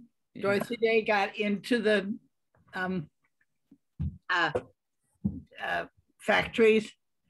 Um, the unions were powerful, but they pressed their pants. They Mhm. joined the establishment. Mhm. They have not been powerful. We have we have young people working to revitalize unions, and that's good. But how can we mobilize the unions to look beyond the immediate to the future? So in the in the Democratic Socialists of America and in the book, um, I draw from a, a, a, basic strategy called the rank and file strategy, which argues that to revitalize the unions and turn them back into fighting unions, uh, you need to really energize the, the actual workers and rank and file members of those unions. And so the, the, the suggestion is that socialists should actually get jobs in specific industries, specific unions, and try to build a sort of militant layer of activists in those unions. And so that's what DSA is trying to do. They're encouraging members to get jobs as teachers, to, to try to radicalize teachers' unions or nurses' unions. Um, and again, in the book, I suggest maybe getting involved in the, the electricity sector, because since it's such a crucial sector for climate change. But it's going to take it's going to take not enlightened trade union leadership to transform these unions. Going to take sort of action from below, from the rank and file, to fight for um, changing the culture of the unions, which tend to be like our kind of society today, tend to be extremely top down. And the members and workers have become disillusioned with the unions because they're so corrupt and they're so captured. But to change that, you got to fight from below and build up energy uh, and and so to, to get fighting unions though the, the workers need to experience struggle and see how if they fight they can win things. So that's why i think like a big strike with ups next year with 350000 workers that might go on strike if they see what they can win when they use their power by withholding their labor they might actually get become more confident and we might see the labor union kind of wake up but or the labor movement wake up. But yeah, it, it, it can look pretty bleak when you look at how corrupt and top down and bureaucratic the unions are. And you've also not even talked about the fact that so many of the largest unions lost thousands of jobs. I'm talking AFL CIO, yeah. and they yeah. all went south. I mean, yeah. as a Michigan um, citizen, well, I, I live in Evanston, but I my heart is in Michigan. I mean, to see the failure of the unions. Okay, Rosalie, again, so I'm going to have to interrupt here because we are trying to get several questioners in. We will have a chance to rebut later on. I appreciate your asking your question again. So, uh, all right. And then thank you very much for bringing up a second round. Ernie, you're next. All right. I have a, a couple questions. I'll try and ask them quick and you can take pick one or both. Um, with regard to electric electrification of vehicles um, to eliminate the need for fossil fuels. What uh, the, the electricity has to be produced somehow. Mm-hmm. And it strikes me that this whole business of switching to um, vehicles run with electricity is really is going to generate more pollution rather than less uh, unless we can switch totally to sustainable fuels. Is, is that your opinion or, or am I am I reading this wrong? Is there some way that uh, producing power with fossil fuels still is a better it's better in that in that it makes uh, electrical vehicles which are you know uh, better to, to drive with and around and so forth but what's what's the question on or what's the answer on that as to generating the most or most pollution? Nobody, I've asked this question of many experts and they yeah. somehow avoid it. No, okay. no, that was what I was trying to explain all too briefly of the electrify everything strategy, which is right, I remember. You first you first have to completely clean up electricity. That's priority number one. That's why electricity is so central. People call it the linchpin of any decarbonization strategy because you first have to transition. And that's what Joe Biden has pledged. He's going to create a zero carbon electricity sector by 2035. Now, I don't know if he still believes that with all the kind of stripping down of the climate program that's happened lately, but that's what he pledged to do. So if you can actually clean up electricity, then you electrify things that currently don't use electricity. And then if that electricity is is clean, then you don't have to worry. I will say just briefly that um, even if the grid is powered by fossil fuels, it's there's less emissions if you you know use a battery powered vehicle um, versus literally combusting gasoline to propel your car forward. So See, I, I I don't understand that. You're saying that that electric cars. It seems to me that we're we're going at this wrong. We're electrifying vehicles before we're we're cleaning up the grid. But well, we're trying I don't do understand both. that. If the power is created uh, using fossil fuels of one Yeah. sort or another, and then the electricity has to be transmitted to where the charging takes place, yeah, and course. you lose something like 60 or 70 percent of your of uh, mechanical efficiency in doing that and a little bit of it uh, certainly in the charging it seemed I, I don't i don't get that Yeah, it's I, I don't I'd have to dig up a study, but it's just literally thinking about how many pounds of emissions happen when you charge your battery and how Yeah. far how many miles can you drive with that battery and then calculating like emissions per mile versus how many emissions come from your tailpipe when you're driving with a gasoline powered car and it turns out it's less when you're are, are the there battery. such studies out there yeah i'd like to see one if yeah you can forward one to charlie or that one Sure. of those guys that would be great my other question was uh, you're saying that we should go to socialism but what about the fact that the uh, we, we've got a recent disaster and a disaster a little further back. The soviet union was socialist. They did do some good things as you pointed out such as electrifying Mhm. uh, the whole country. And they brought the country forward in many ways to being a world power. But nonetheless that system eventually collapsed. And more recently venezuela. We had chavez and maduro both of whom i admire in many ways a great deal but that country is has just uh, become a basket case and and they're basically trying to be socialists. Right Uh, um. So how do you how do you uh, justify the notion that socialism is a better way to go? Well, a lot of socialists um, are very divided over whether or not we should even call the Soviet Union socialist. Um, I would agree with you that they did some pretty tremendous things, including being the the, the, the crucial force in defeating the, the Nazis in World War II. Mhm. Um, so, but they were, uh, you know, for me, I'm part of the Democratic Socialism of America. So my vision of socialism is fundamentally about democracy, and they did not really democratize the economy in a way I would like to see. Um, but I think they did do things like economic planning that I think we need to revitalize if we're gonna. I think that's the problem of climate change is basically one of planning. We need a, a massively coordinated plan to kind of again completely transform our just our electric grid to start and then go from there. And so learning about planning and how the Soviets tried and failed at planning, but how they tried to overcome their failures, I think is useful. Um, and Venezuela is a real problem because they base their socialism on the volatility of the price of oil because their entire economy runs on oil exports. And so when the oil price collapsed in 2014, just after Chavez died, uh, their economy went to crap, and everyone thought it was Maduro's fault, but it was really just the the, the crash of the commodity boom and oil prices. Um, and you know, it's they did some other things to exacerbate those problems. You know, other like Bolivia was able to weather that crisis a little better, but um, ultimately, basing your socialism on the volatile price swings of fossil fuels is not a winning strategy either. Although I also agree with you, they did some pretty good things. They lifted a lot of people out of poverty during during the times when oil prices were high. So okay well that's a discussion that will go on and on and on we won't Okay. solve it tonight All right, Charlie, you got the last question, and we're gonna go to rebuttals.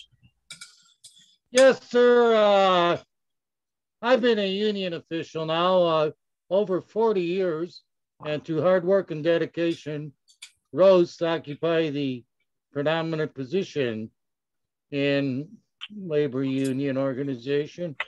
I even at one time began a brand new union that didn't exist previously.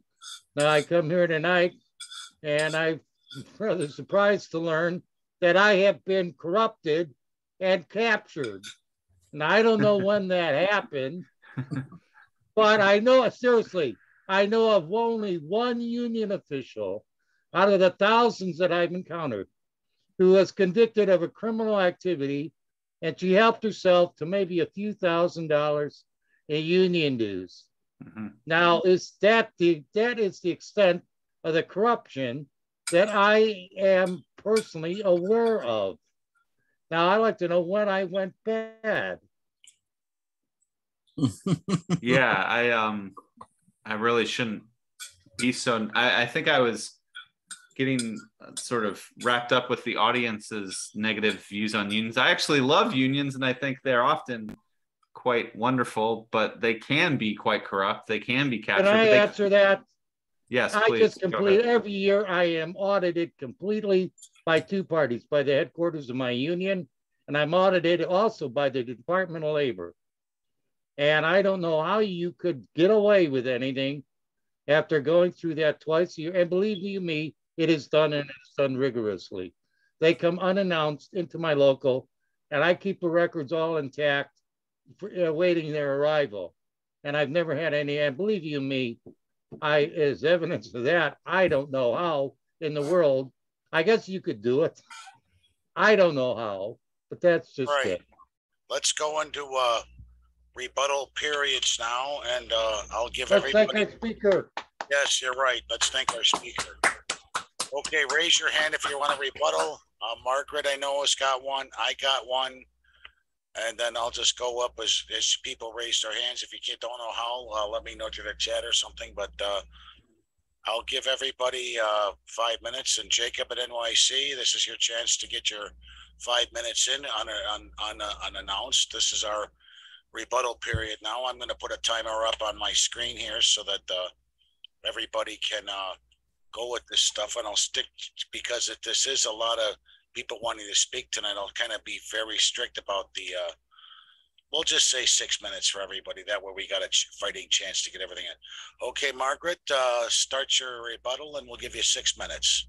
Where's the timer on the screen? Um, I can put one on the screen. I don't, I don't. Oh, I thought you said you did. That's okay. I No, no, don't- I'm- um, I got okay. a timer on my other computer. I'll, I'll give you a war, a nice warning, okay? Okay, um, first of all, I want to talk about the format. I hope Jacob sticks around. I hope your speaker sticks around because sometimes people don't and they miss often some of the very most interesting parts of the pre- presentation when they skip the rebuttal period.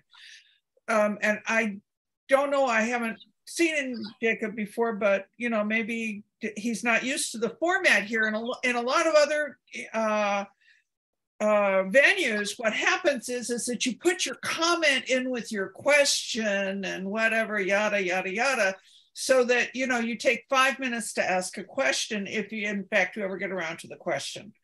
Uh, the second thing is that people do to make the question understandable. Sometimes people do do a small paragraph explaining their question, and that's acceptable. But but the thing is is that the the question period is for questions and answers. And and and that's different than any other format that you'll see. And i've been in the college a long time. And um and and it really oh you left. Look at you. Oh no there you are. I'm sorry. Everything shifted around. And and, and i've found it an incredible learning experience um, for myself eh, well for myself period. So and and my son actually too for that matter and and frank um, learned a great deal from the college and we've been coming literally for decades. So that's that. Second in terms of um, a comment that was the other that i heard the other night on the college in dallas was that um, uh, that uh, that the a, working class has been totally abandoned by both parties, by Democrats and Republicans. We say the labor movement is a Democrat. Well, no, because the Democrats have abandoned the the the, the Republican the uh, working class just as thoroughly as the Republicans have, pretty much.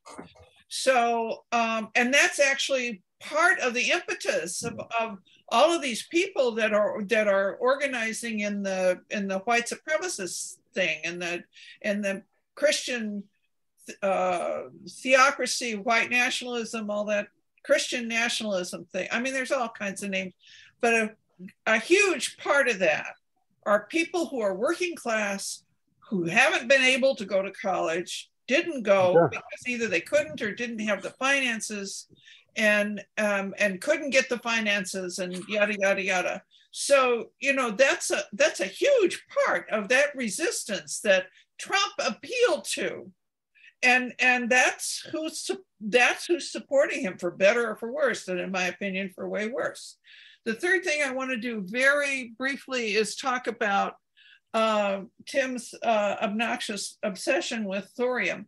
First of all, um, nuclear power is hugely more expensive than any renewable sources.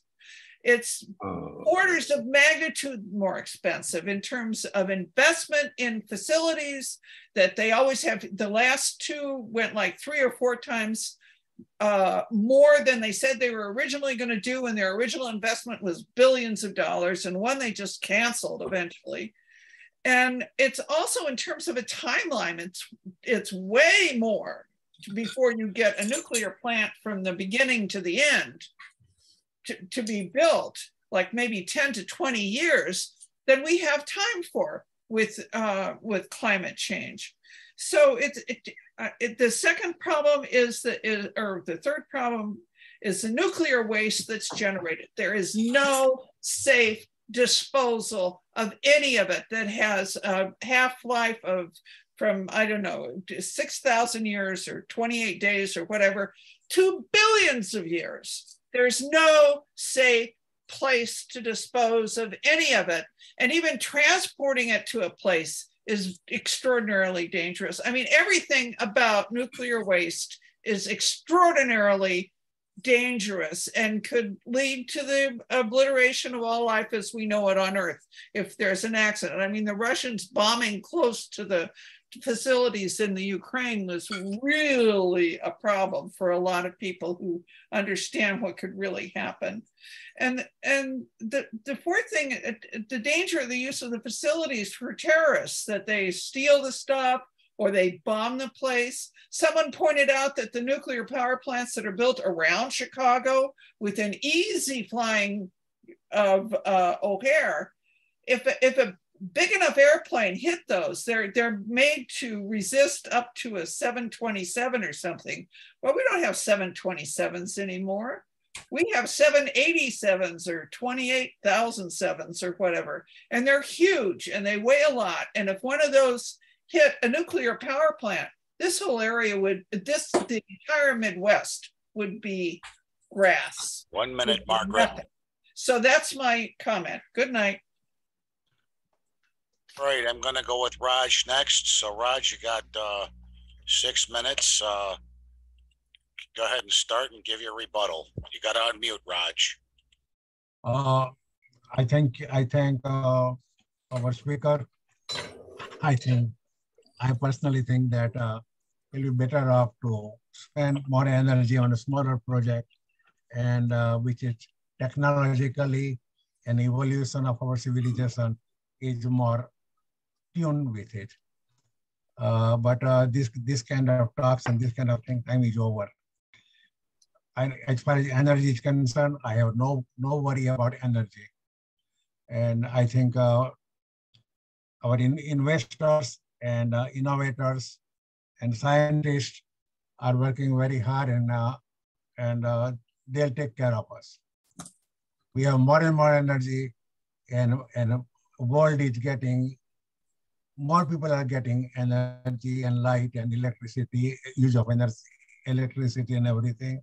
And I see that all over the world, there is a progress and progress continues, okay?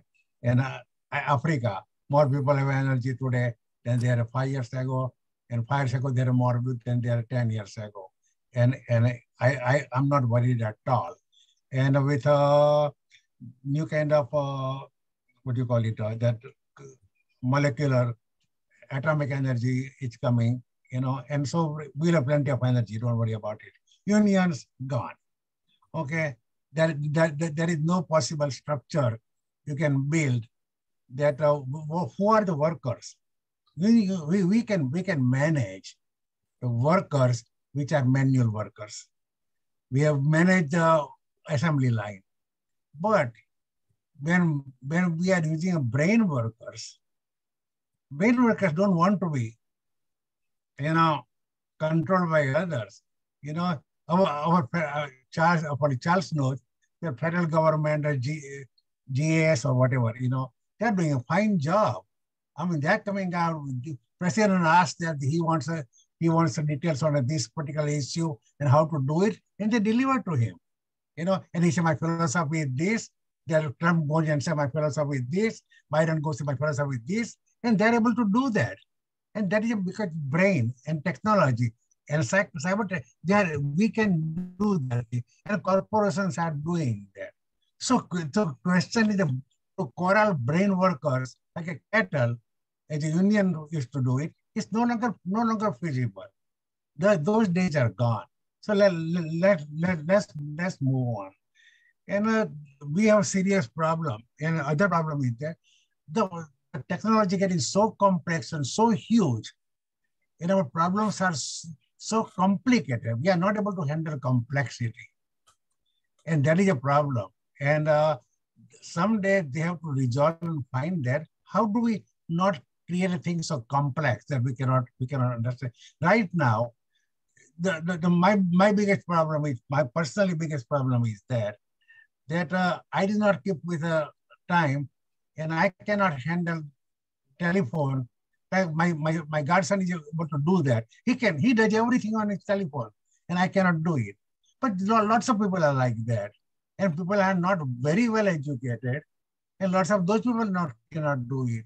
And other thing happening is that that uh, we have to make them everybody able to do the work like on a computer. In India, India, I think that people are doing better with their managing everything on their on their what do you call it, telephone, and uh, that is the future.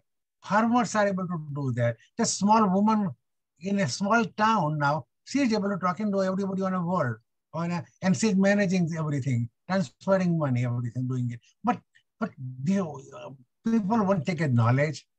It's like a, they, they become a guard. They cannot be controlled. Thank you. I'm done. All right, Raj, uh, Charlie, and I got uh, Ernie Norman next, and then I'll go to Charlie. So Ernie, go ahead, and unmute. You got six minutes. Yeah, I think I'm unmuted here.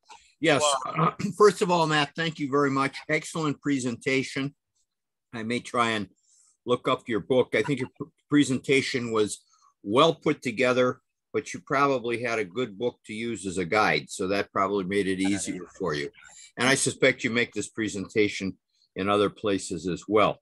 Uh, and uh, anyway, it, it, I found it uh, interesting and enlightening. Uh, as far as sources of pollution, uh, I'm involved with a very small group now that we're hoping to grow uh, entitled um, Climate Justice. And one of the th conclusions that somebody has given us, some of the data, is that six up to 69% of pollution from energy, from creating energy or using energy, uh, has to do with buildings, heating of buildings. Now, I'm not sure if that uh, 69% figure is correct. We usually think of it as being, you know, cars spewing uh, CO2 into the atmosphere, but I think that's really a relatively uh, small source. And transportation as an industry and as a group is working hard on this. I go to lectures by the Chaddick Institute here in Chicago, and there are different people doing things all over the world, including uh, electric uh, buses, which, which recharge a little bit at each stop by having a, a charging unit uh, in the street. Uh, things like this. A lot of very creative things are going on. Uh, it will take a while. There's there's no doubt about, but but at least people are thinking uh, along the right lines for that. And as far as industry, um, yeah, industry does pollute some. Uh, I think that the fact that we've lost so many jobs um, over to overseas, we've we pushed some of the pollution overseas. Of course, uh, it's one atmosphere and one ocean that serves the whole world. So that doesn't necessarily do a lot of good for us, and it certainly doesn't do it for the people who are taking over, uh, taking over the business of making things. Uh, and as far as socialism, uh, I'm a Democrat. I'm I'm a pretty liberal Democrat, supporter of Bernie Sanders for the last several years. Haven't voted for a Republican in a major race in more than 30 years. Uh, but on the other hand, I'm definitely not a socialist. Now, socialism is gaining here in Chicago. I think we have the Liberal Coalition here in Chicago has at least 10 members, maybe more now. And some of them are avowed socialists and they and they don't they're not embarrassed to say it anymore. So we are moving in that direction. I think that we do need um, any major government, ours and any major government of any city or even smaller entities, is at least part socialist, even if we don't admit it. Many aspects of what we do through our government are essentially socialist libraries, schools, police, fire, infrastructure. Uh, those are essentially uh, built on a socialist model.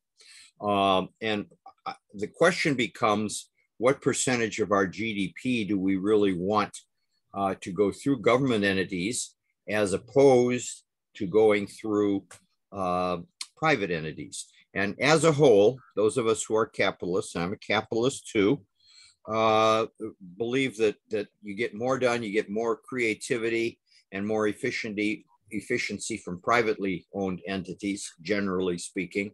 But that doesn't mean that we there's not a place for uh, publicly controlled entities using a kind of a socialist model. And I think that uh, as compared to the rest of the world, we have a smaller uh, amount of socialism, and we need a little bit more. I think we need to go in that direction a little bit more, but not for not not all the way. Uh, the most of the standard of living that we have is due to uh, the free market system over the decades. They gave us most of the the things that work uh, for us. So uh, I don't agree with the socialist part of your talk, but I think I do agree with you that it's a very serious problem. The environment is a very serious problem and we do need to work on it. Thank you. Okay, uh, Dan and Eliana, uh, you're next. Dan, if you want to speak. Uh, Charlie, I know you put your hand down because you normally go last, but Dan, you're up and uh, go. Let's uh, get you speaking next. Okay. Interesting talk, Matt. So, so uh, XR and Science Rebellion are um, two activist groups. And people have to get off the couch and join these groups. You can't just complain and sit and watch TV. So you don't have to be arrested when you go with XR. You can be a marshal, you can work with the food, you can do other support. You don't have to get arrested. As far as uh, Ukrainians bombing Zaporozhia, Zaporozhia, the nuclear plant, it wasn't the Russians, it was the Ukrainians. Oh, they're, they're a little out of control. And as far as Chase Bank supporting uh, lending money to oil companies. They've lent all, over $350 billion the last 10 years. So uh, banks have to be informed. And that's why, that's why, can you mute your, uh, Ernie? Mute your mic. Thanks. Uh, Chase Bank, everybody can take their money out of Chase Bank if they can afford it, if they don't have a mortgage on there if you can take it out, that'd be very helpful. XR has done dyings in front of Chase Bank and the Science Rebellion people in Los Angeles, they they glued themselves to the front door of Chase Bank. And of course, well, I'm telling you about it, but there was no mainstream media about the gluing of Chase Bank. And as far as Exxon Mobil, knowing about global warming. They knew about global warming in the 1970s. They knew the temperature was going to get higher because of oil, oil drilling and oil and cars. They knew that, but they didn't do anything. They don't care. All they want is money. They like, they're addicted to money. So ExxonMobil has papers that say global warming was going to happen, and this was 50 years ago.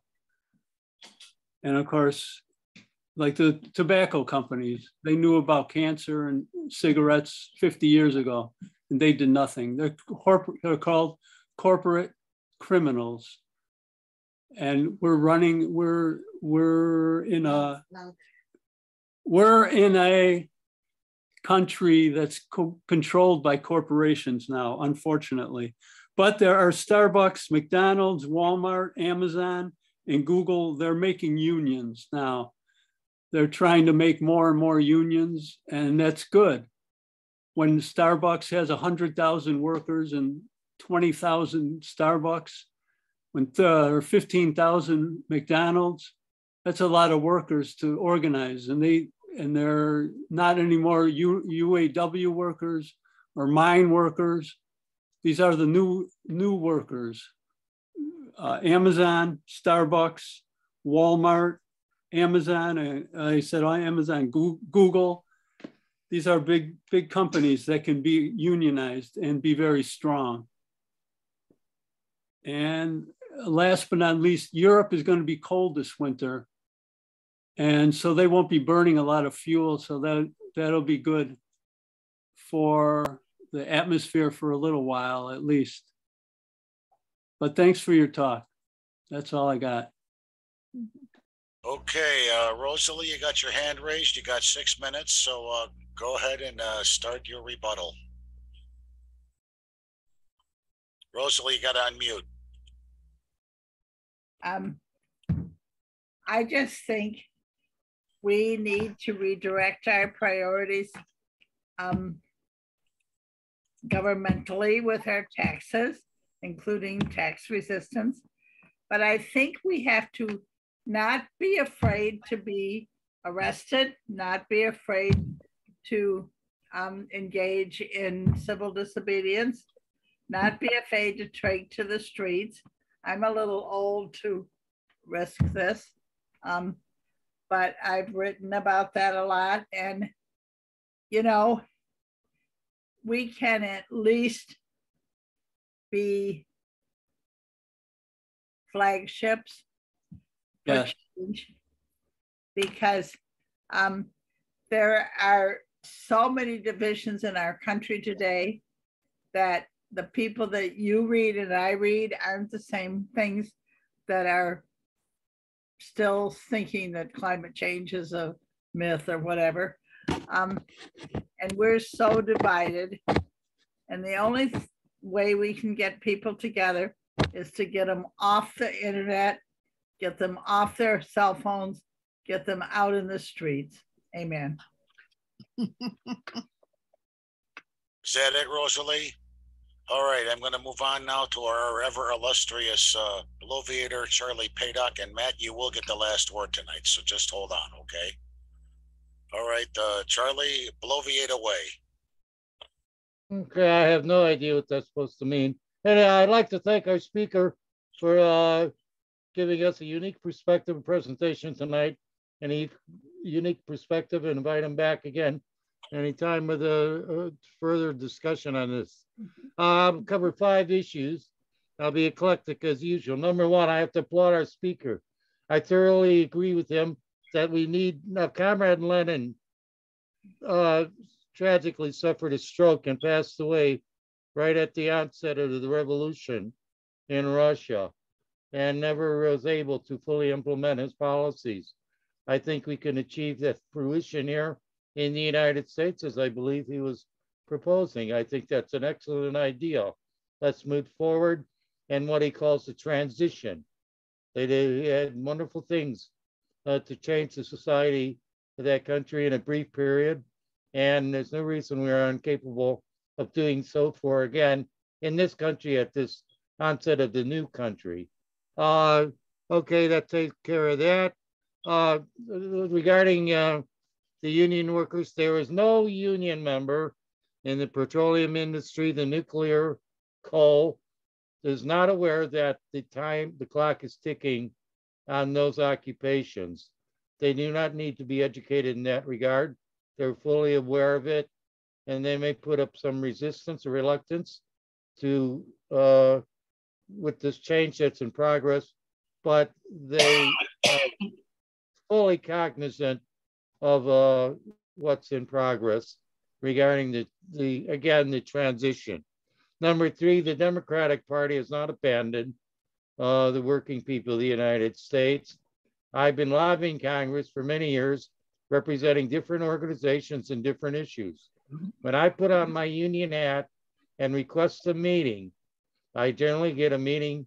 I always, usually always get a meeting with the Democratic representative congressmen themselves. Uh, other lobbyists are somewhat mystified how I have success in that regard, but they have by no means Republicans just the opposite, but the Democrats at least have always been receptive to meeting with me, discussing, and following through with implementation of the things that we would like to see implemented. Um, number four, um, I just want to mention I found it rather intriguing that the capitalist system has electricity for to power its sweatshops, but it appears does not have provide electricity for the people employed in those sweatshops, if I'm correct.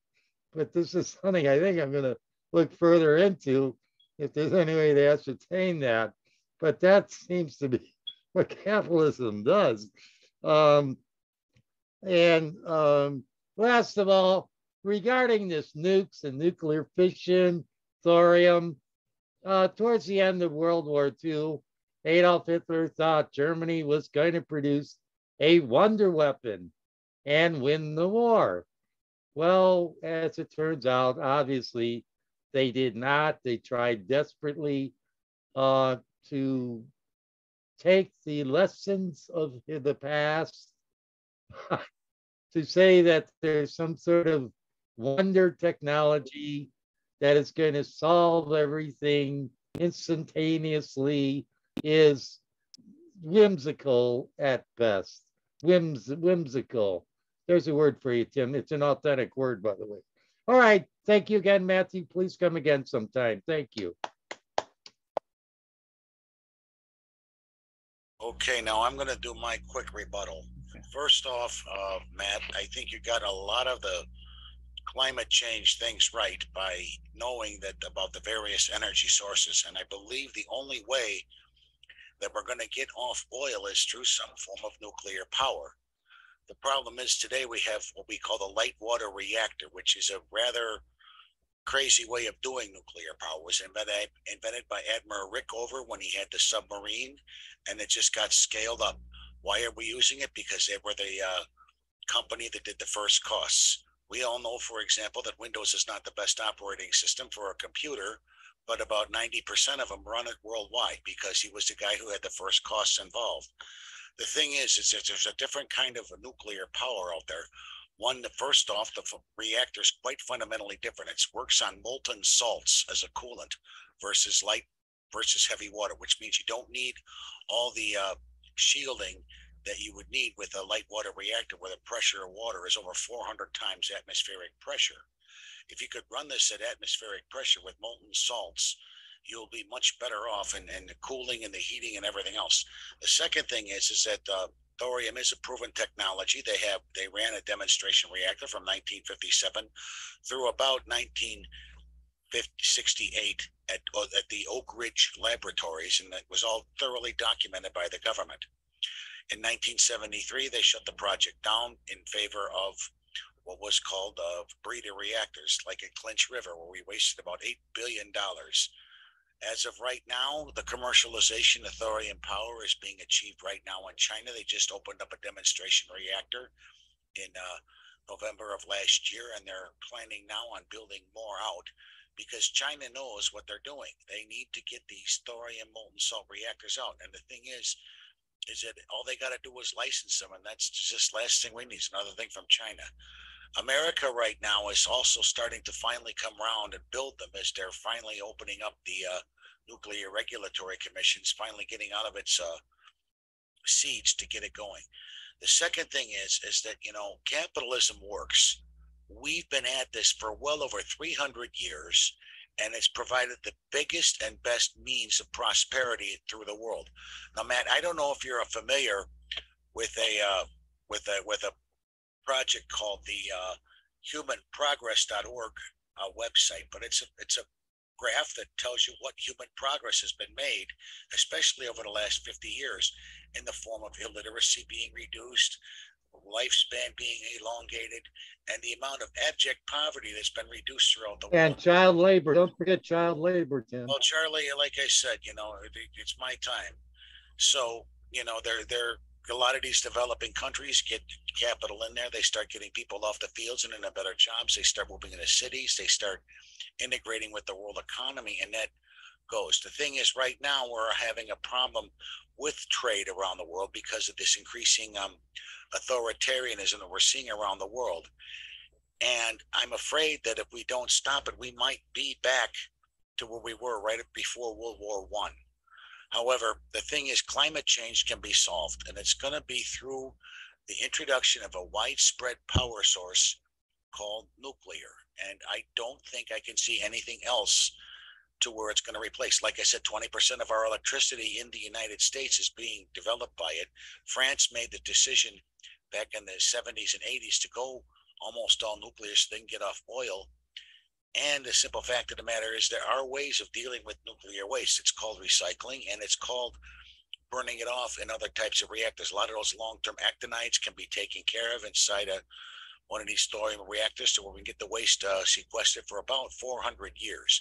Now, if you want to know more about it, uh, go to the Thorium Energy Alliance website, uh, where there's an organization out in Harvard, Illinois, that will tell you all about it. As a matter of fact, I've been to a number of Thorium Energy Alliance conferences, and I have been very sold on the idea of that it's probably the only way that we'll ever get out of this climate change. Yes, I know we have electric power, I know we have fossil fuels, and I know we want to do better for everybody around the world. And the only way I think that's going to happen is with the amount of investment it's going to take and the amount of things like this.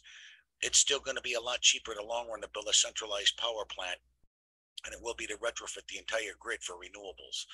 If you're wondering why I'm a little bit think that the renewables are a scam, Mark Z. Jacobson did a study. He said that how we could get off the world and make it nuclear and carbon free. Well, there was another there was another uh, report that thoroughly debunked him called the Roadmap to Nowhere, which you can go download from the site and was presented again at one of the Thorium Energy Alliance conferences.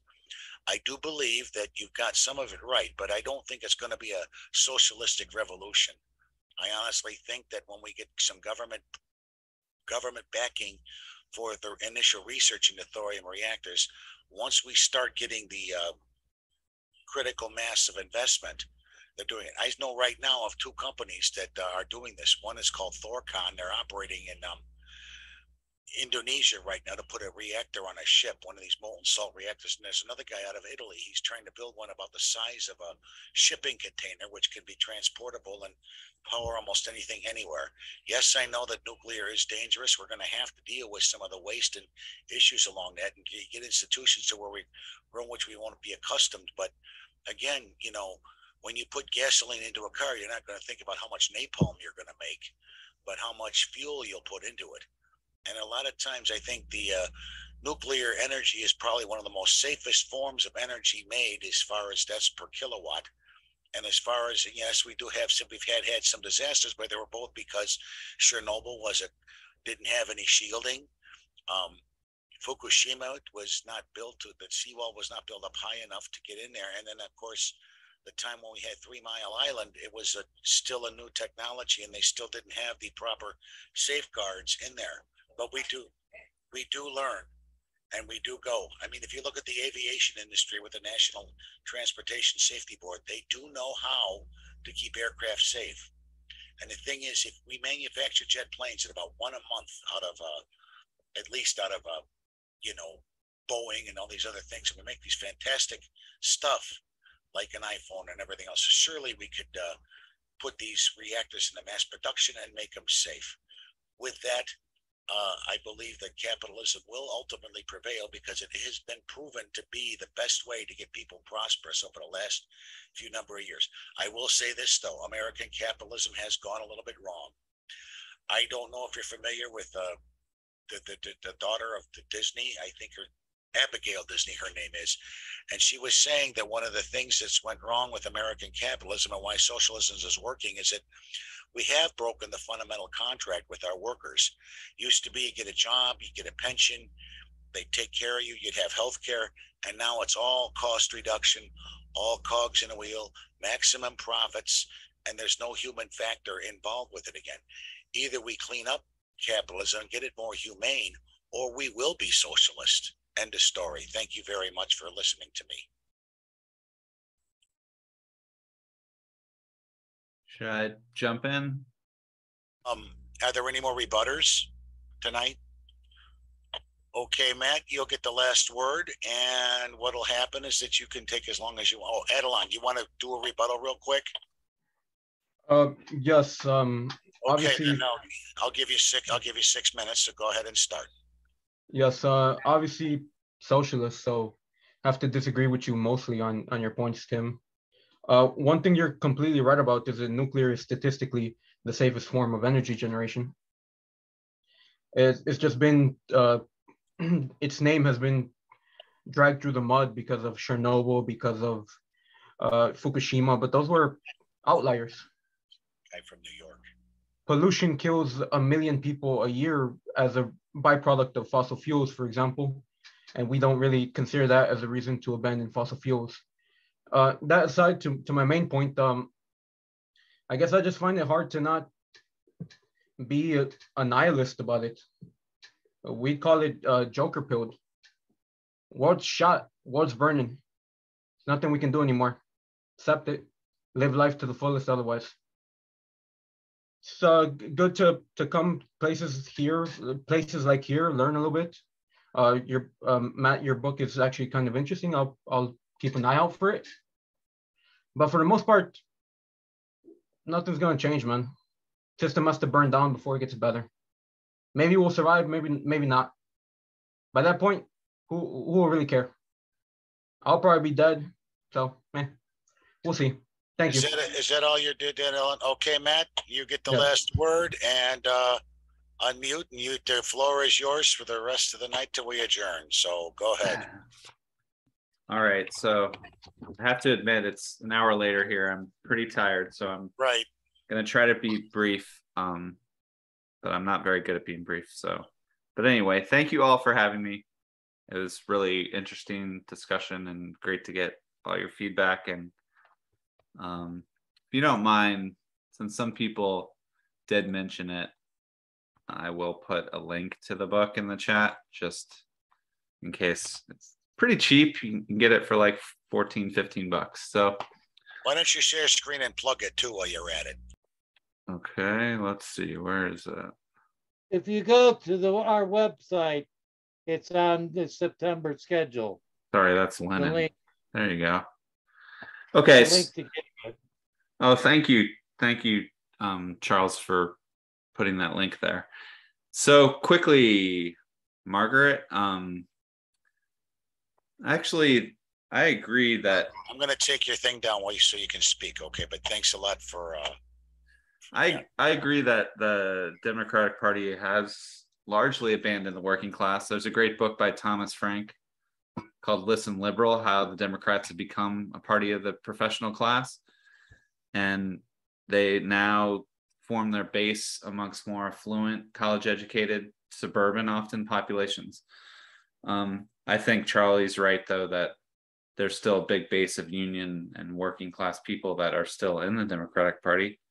Um, the big problem is a lot of the working class is abandoning the Democratic Party for the Republicans. And 2016, 2020, you, uh, you saw more and more non college educated largely working class people shifting to vote for Trump and and in 2020 it was even you know big increases amongst Latinos and African Americans shifting toward Trump. Still, those populations were largely for the Democrats, but they're shifting, right?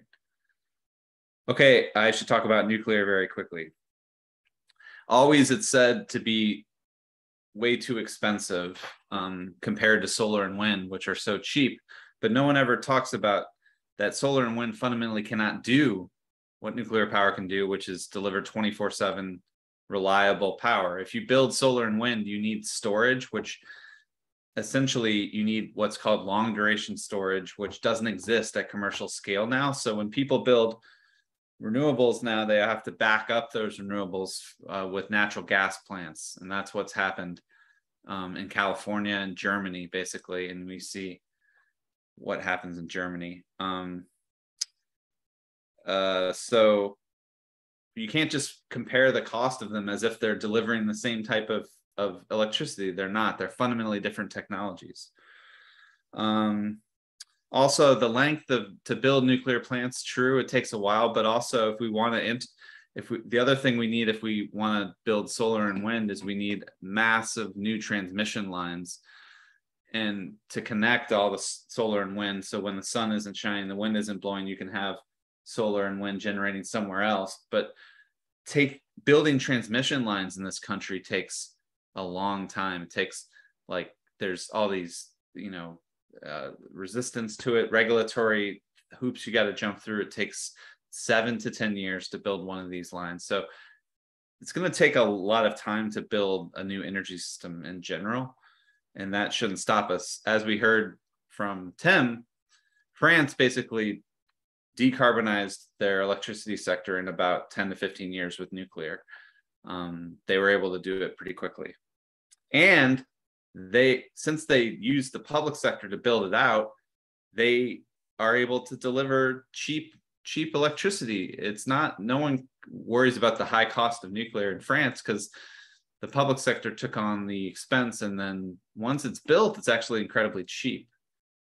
Um, the waste problem you know is not really i mean it's it's worrisome because it is dangerous material but we know how to deal with it. You know you can put it in these casks and and and, and no one can get to it and you literally have to eat this stuff for it to be really dangerous. And um uh no one's really died from it. We've figured out how to deal with it. Um but of course we need to figure out ways to communicate to future generations that it's dangerous and that's kind of a challenge when you think about how will our language and culture travel and things like this. Okay, I'll just quickly keep going. Raj, um, the only thing I want to say back to Raj is that he said that investors and innovators will take care of us.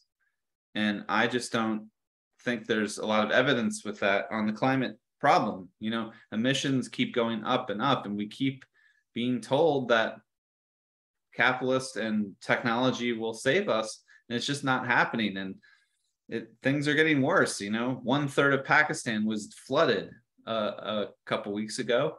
There's these increasing storms drought in the west fires thing i mean the planet is really being severely destabilized. And we keep being told that elon musk and all these innovators are, are going to save us and it's just not happening. So my my fundamental case for socialism is not um, even that we need a revolution it's that we need a production system for our energy that is not profit oriented that because we need to actually say we need to build this energy system to save the planet regardless of if it's profitable.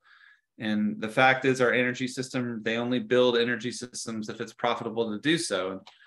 And i and maybe thorium reactors that tim's talking about will get commercially profitable and they can just go like wildfire. But that's not the case right now. In fact, Margaret's right that the reason we won't build nuclear plants because it's not really profitable to investors. And that's the problem. So socialism is is the idea that we should produce stuff for social need and for and human flourishing and not just for if, if it's profitable for investors.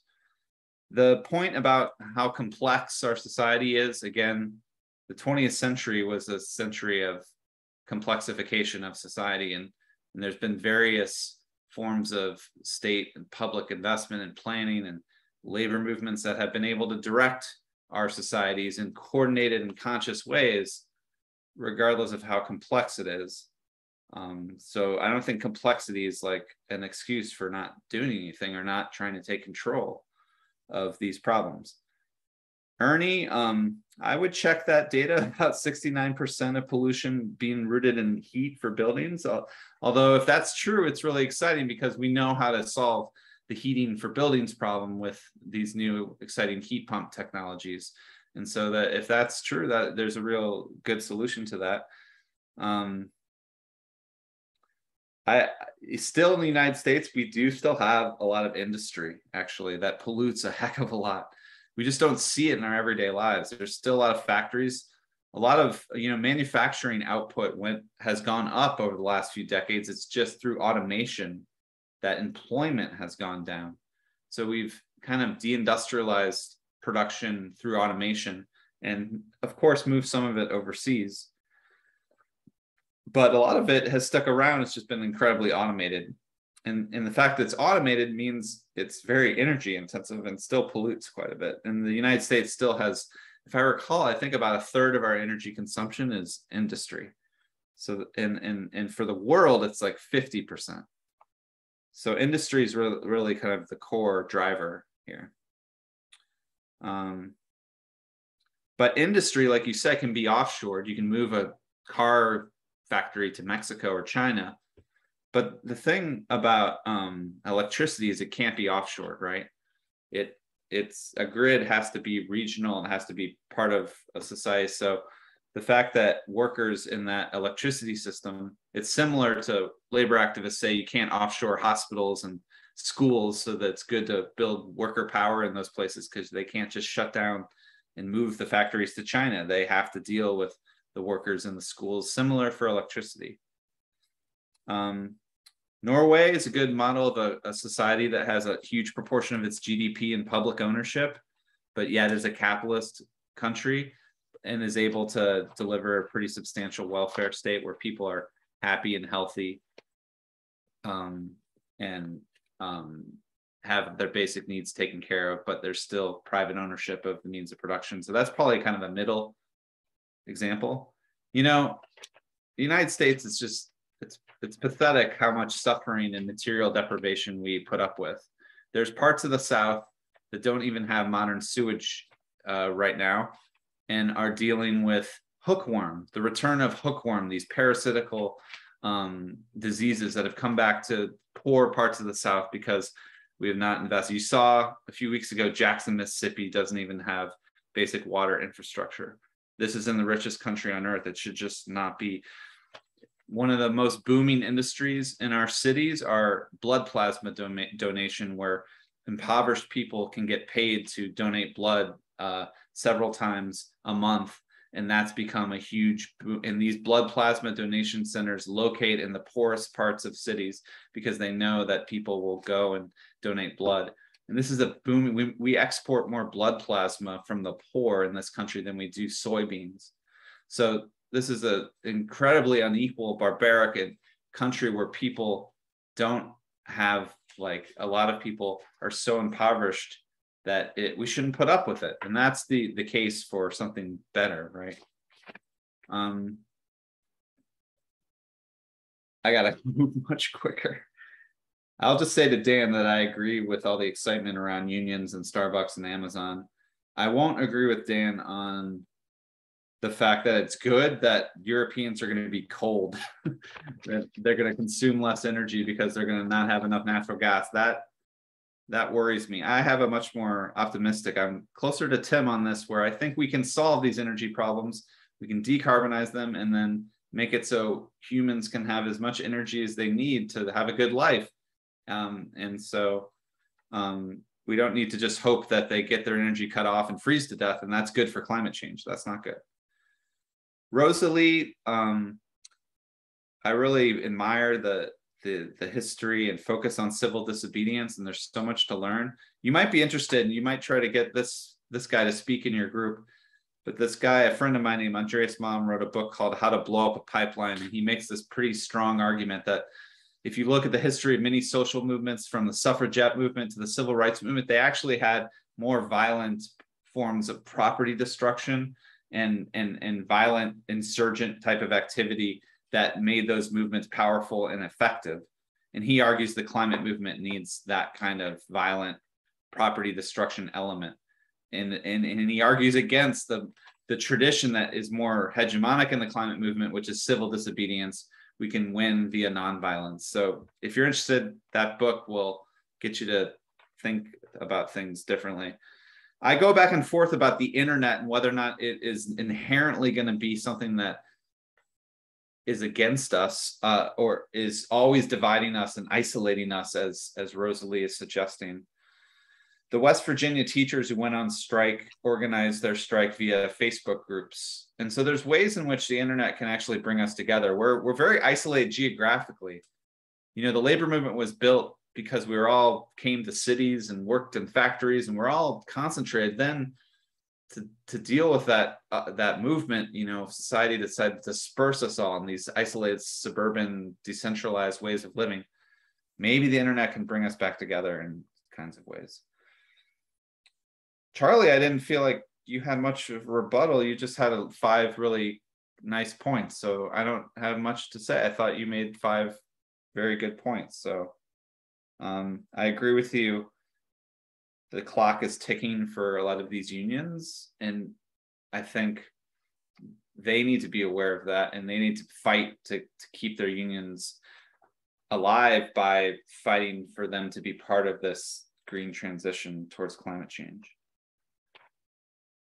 Tim, I'm a nuclear advocate, but I don't know a lot about all these different technologies. All I do know is there's big debate on Twitter. There's a lot of people that think light water reactors are great. That we they're we know how they work. They're they're proven. We should just build those, and they're we we know that they're proven. And there's a lot of others that think we need new technology. A lot of people arguing for small modular reactors and all this kind of stuff. I mean, I'd love to learn more about these thor- thorium reactors, and they all sound cool. I will say that the one thing that would really solve everything is not fission, but fusion, right? If we can really figure out fusion, it actually solves all the waste problems. It solves, it, it provides limitless energy. It could be really, if you want abundance and energy for all, fusion's the way, but we keep being told it's like 20 years away to get to fusion. Um, I again, I don't think capitalism should be given all the bona fides for human progress. I think um, we have to um, we have to give a lot of that.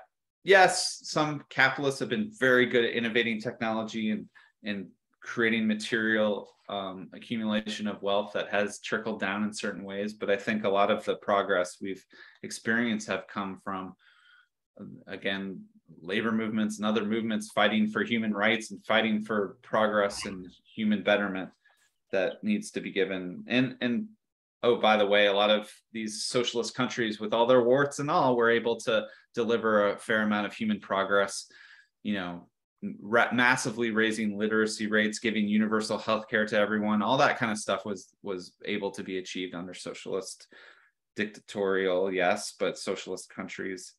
Um, Cuba has some of the highest levels of human development indicators like healthcare and education.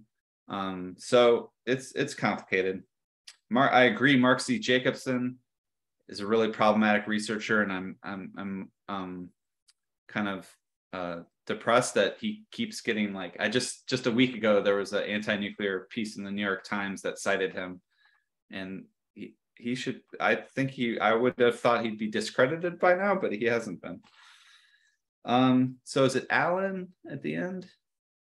So um, I would be lying if I don't feel those nihilistic, uh, depressing thoughts as well from time to time. Um, I I have a hard time. I try to fight those feelings though. I want to believe, and in the end, I actually um, try to believe that humans are good and we can come together and build a better society and there's a lot of historical experience that shows us there are examples of that happening i also have one of the reasons, if you ever got the book, it's dedicated to my daughter, um, who was born in 2015. She's seven years old. She's going to reach retirement age in 2080. And uh, I have a hard time um, just thinking with her, uh, with the stakes for me are her, you know? And so I have a hard time thinking like we're all going to burn and die and it's just like whatever.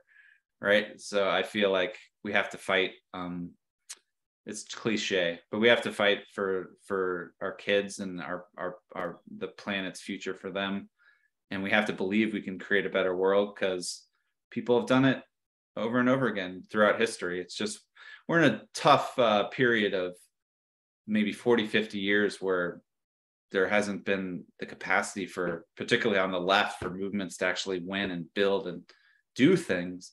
But we should realize that history doesn't just always it's not always the same. It changes. There can be big shifts and revolutionary upsurges that can really shift things very quickly. So we have to be ready for that and try to organize for those moments. So i'll stop there. Thank you all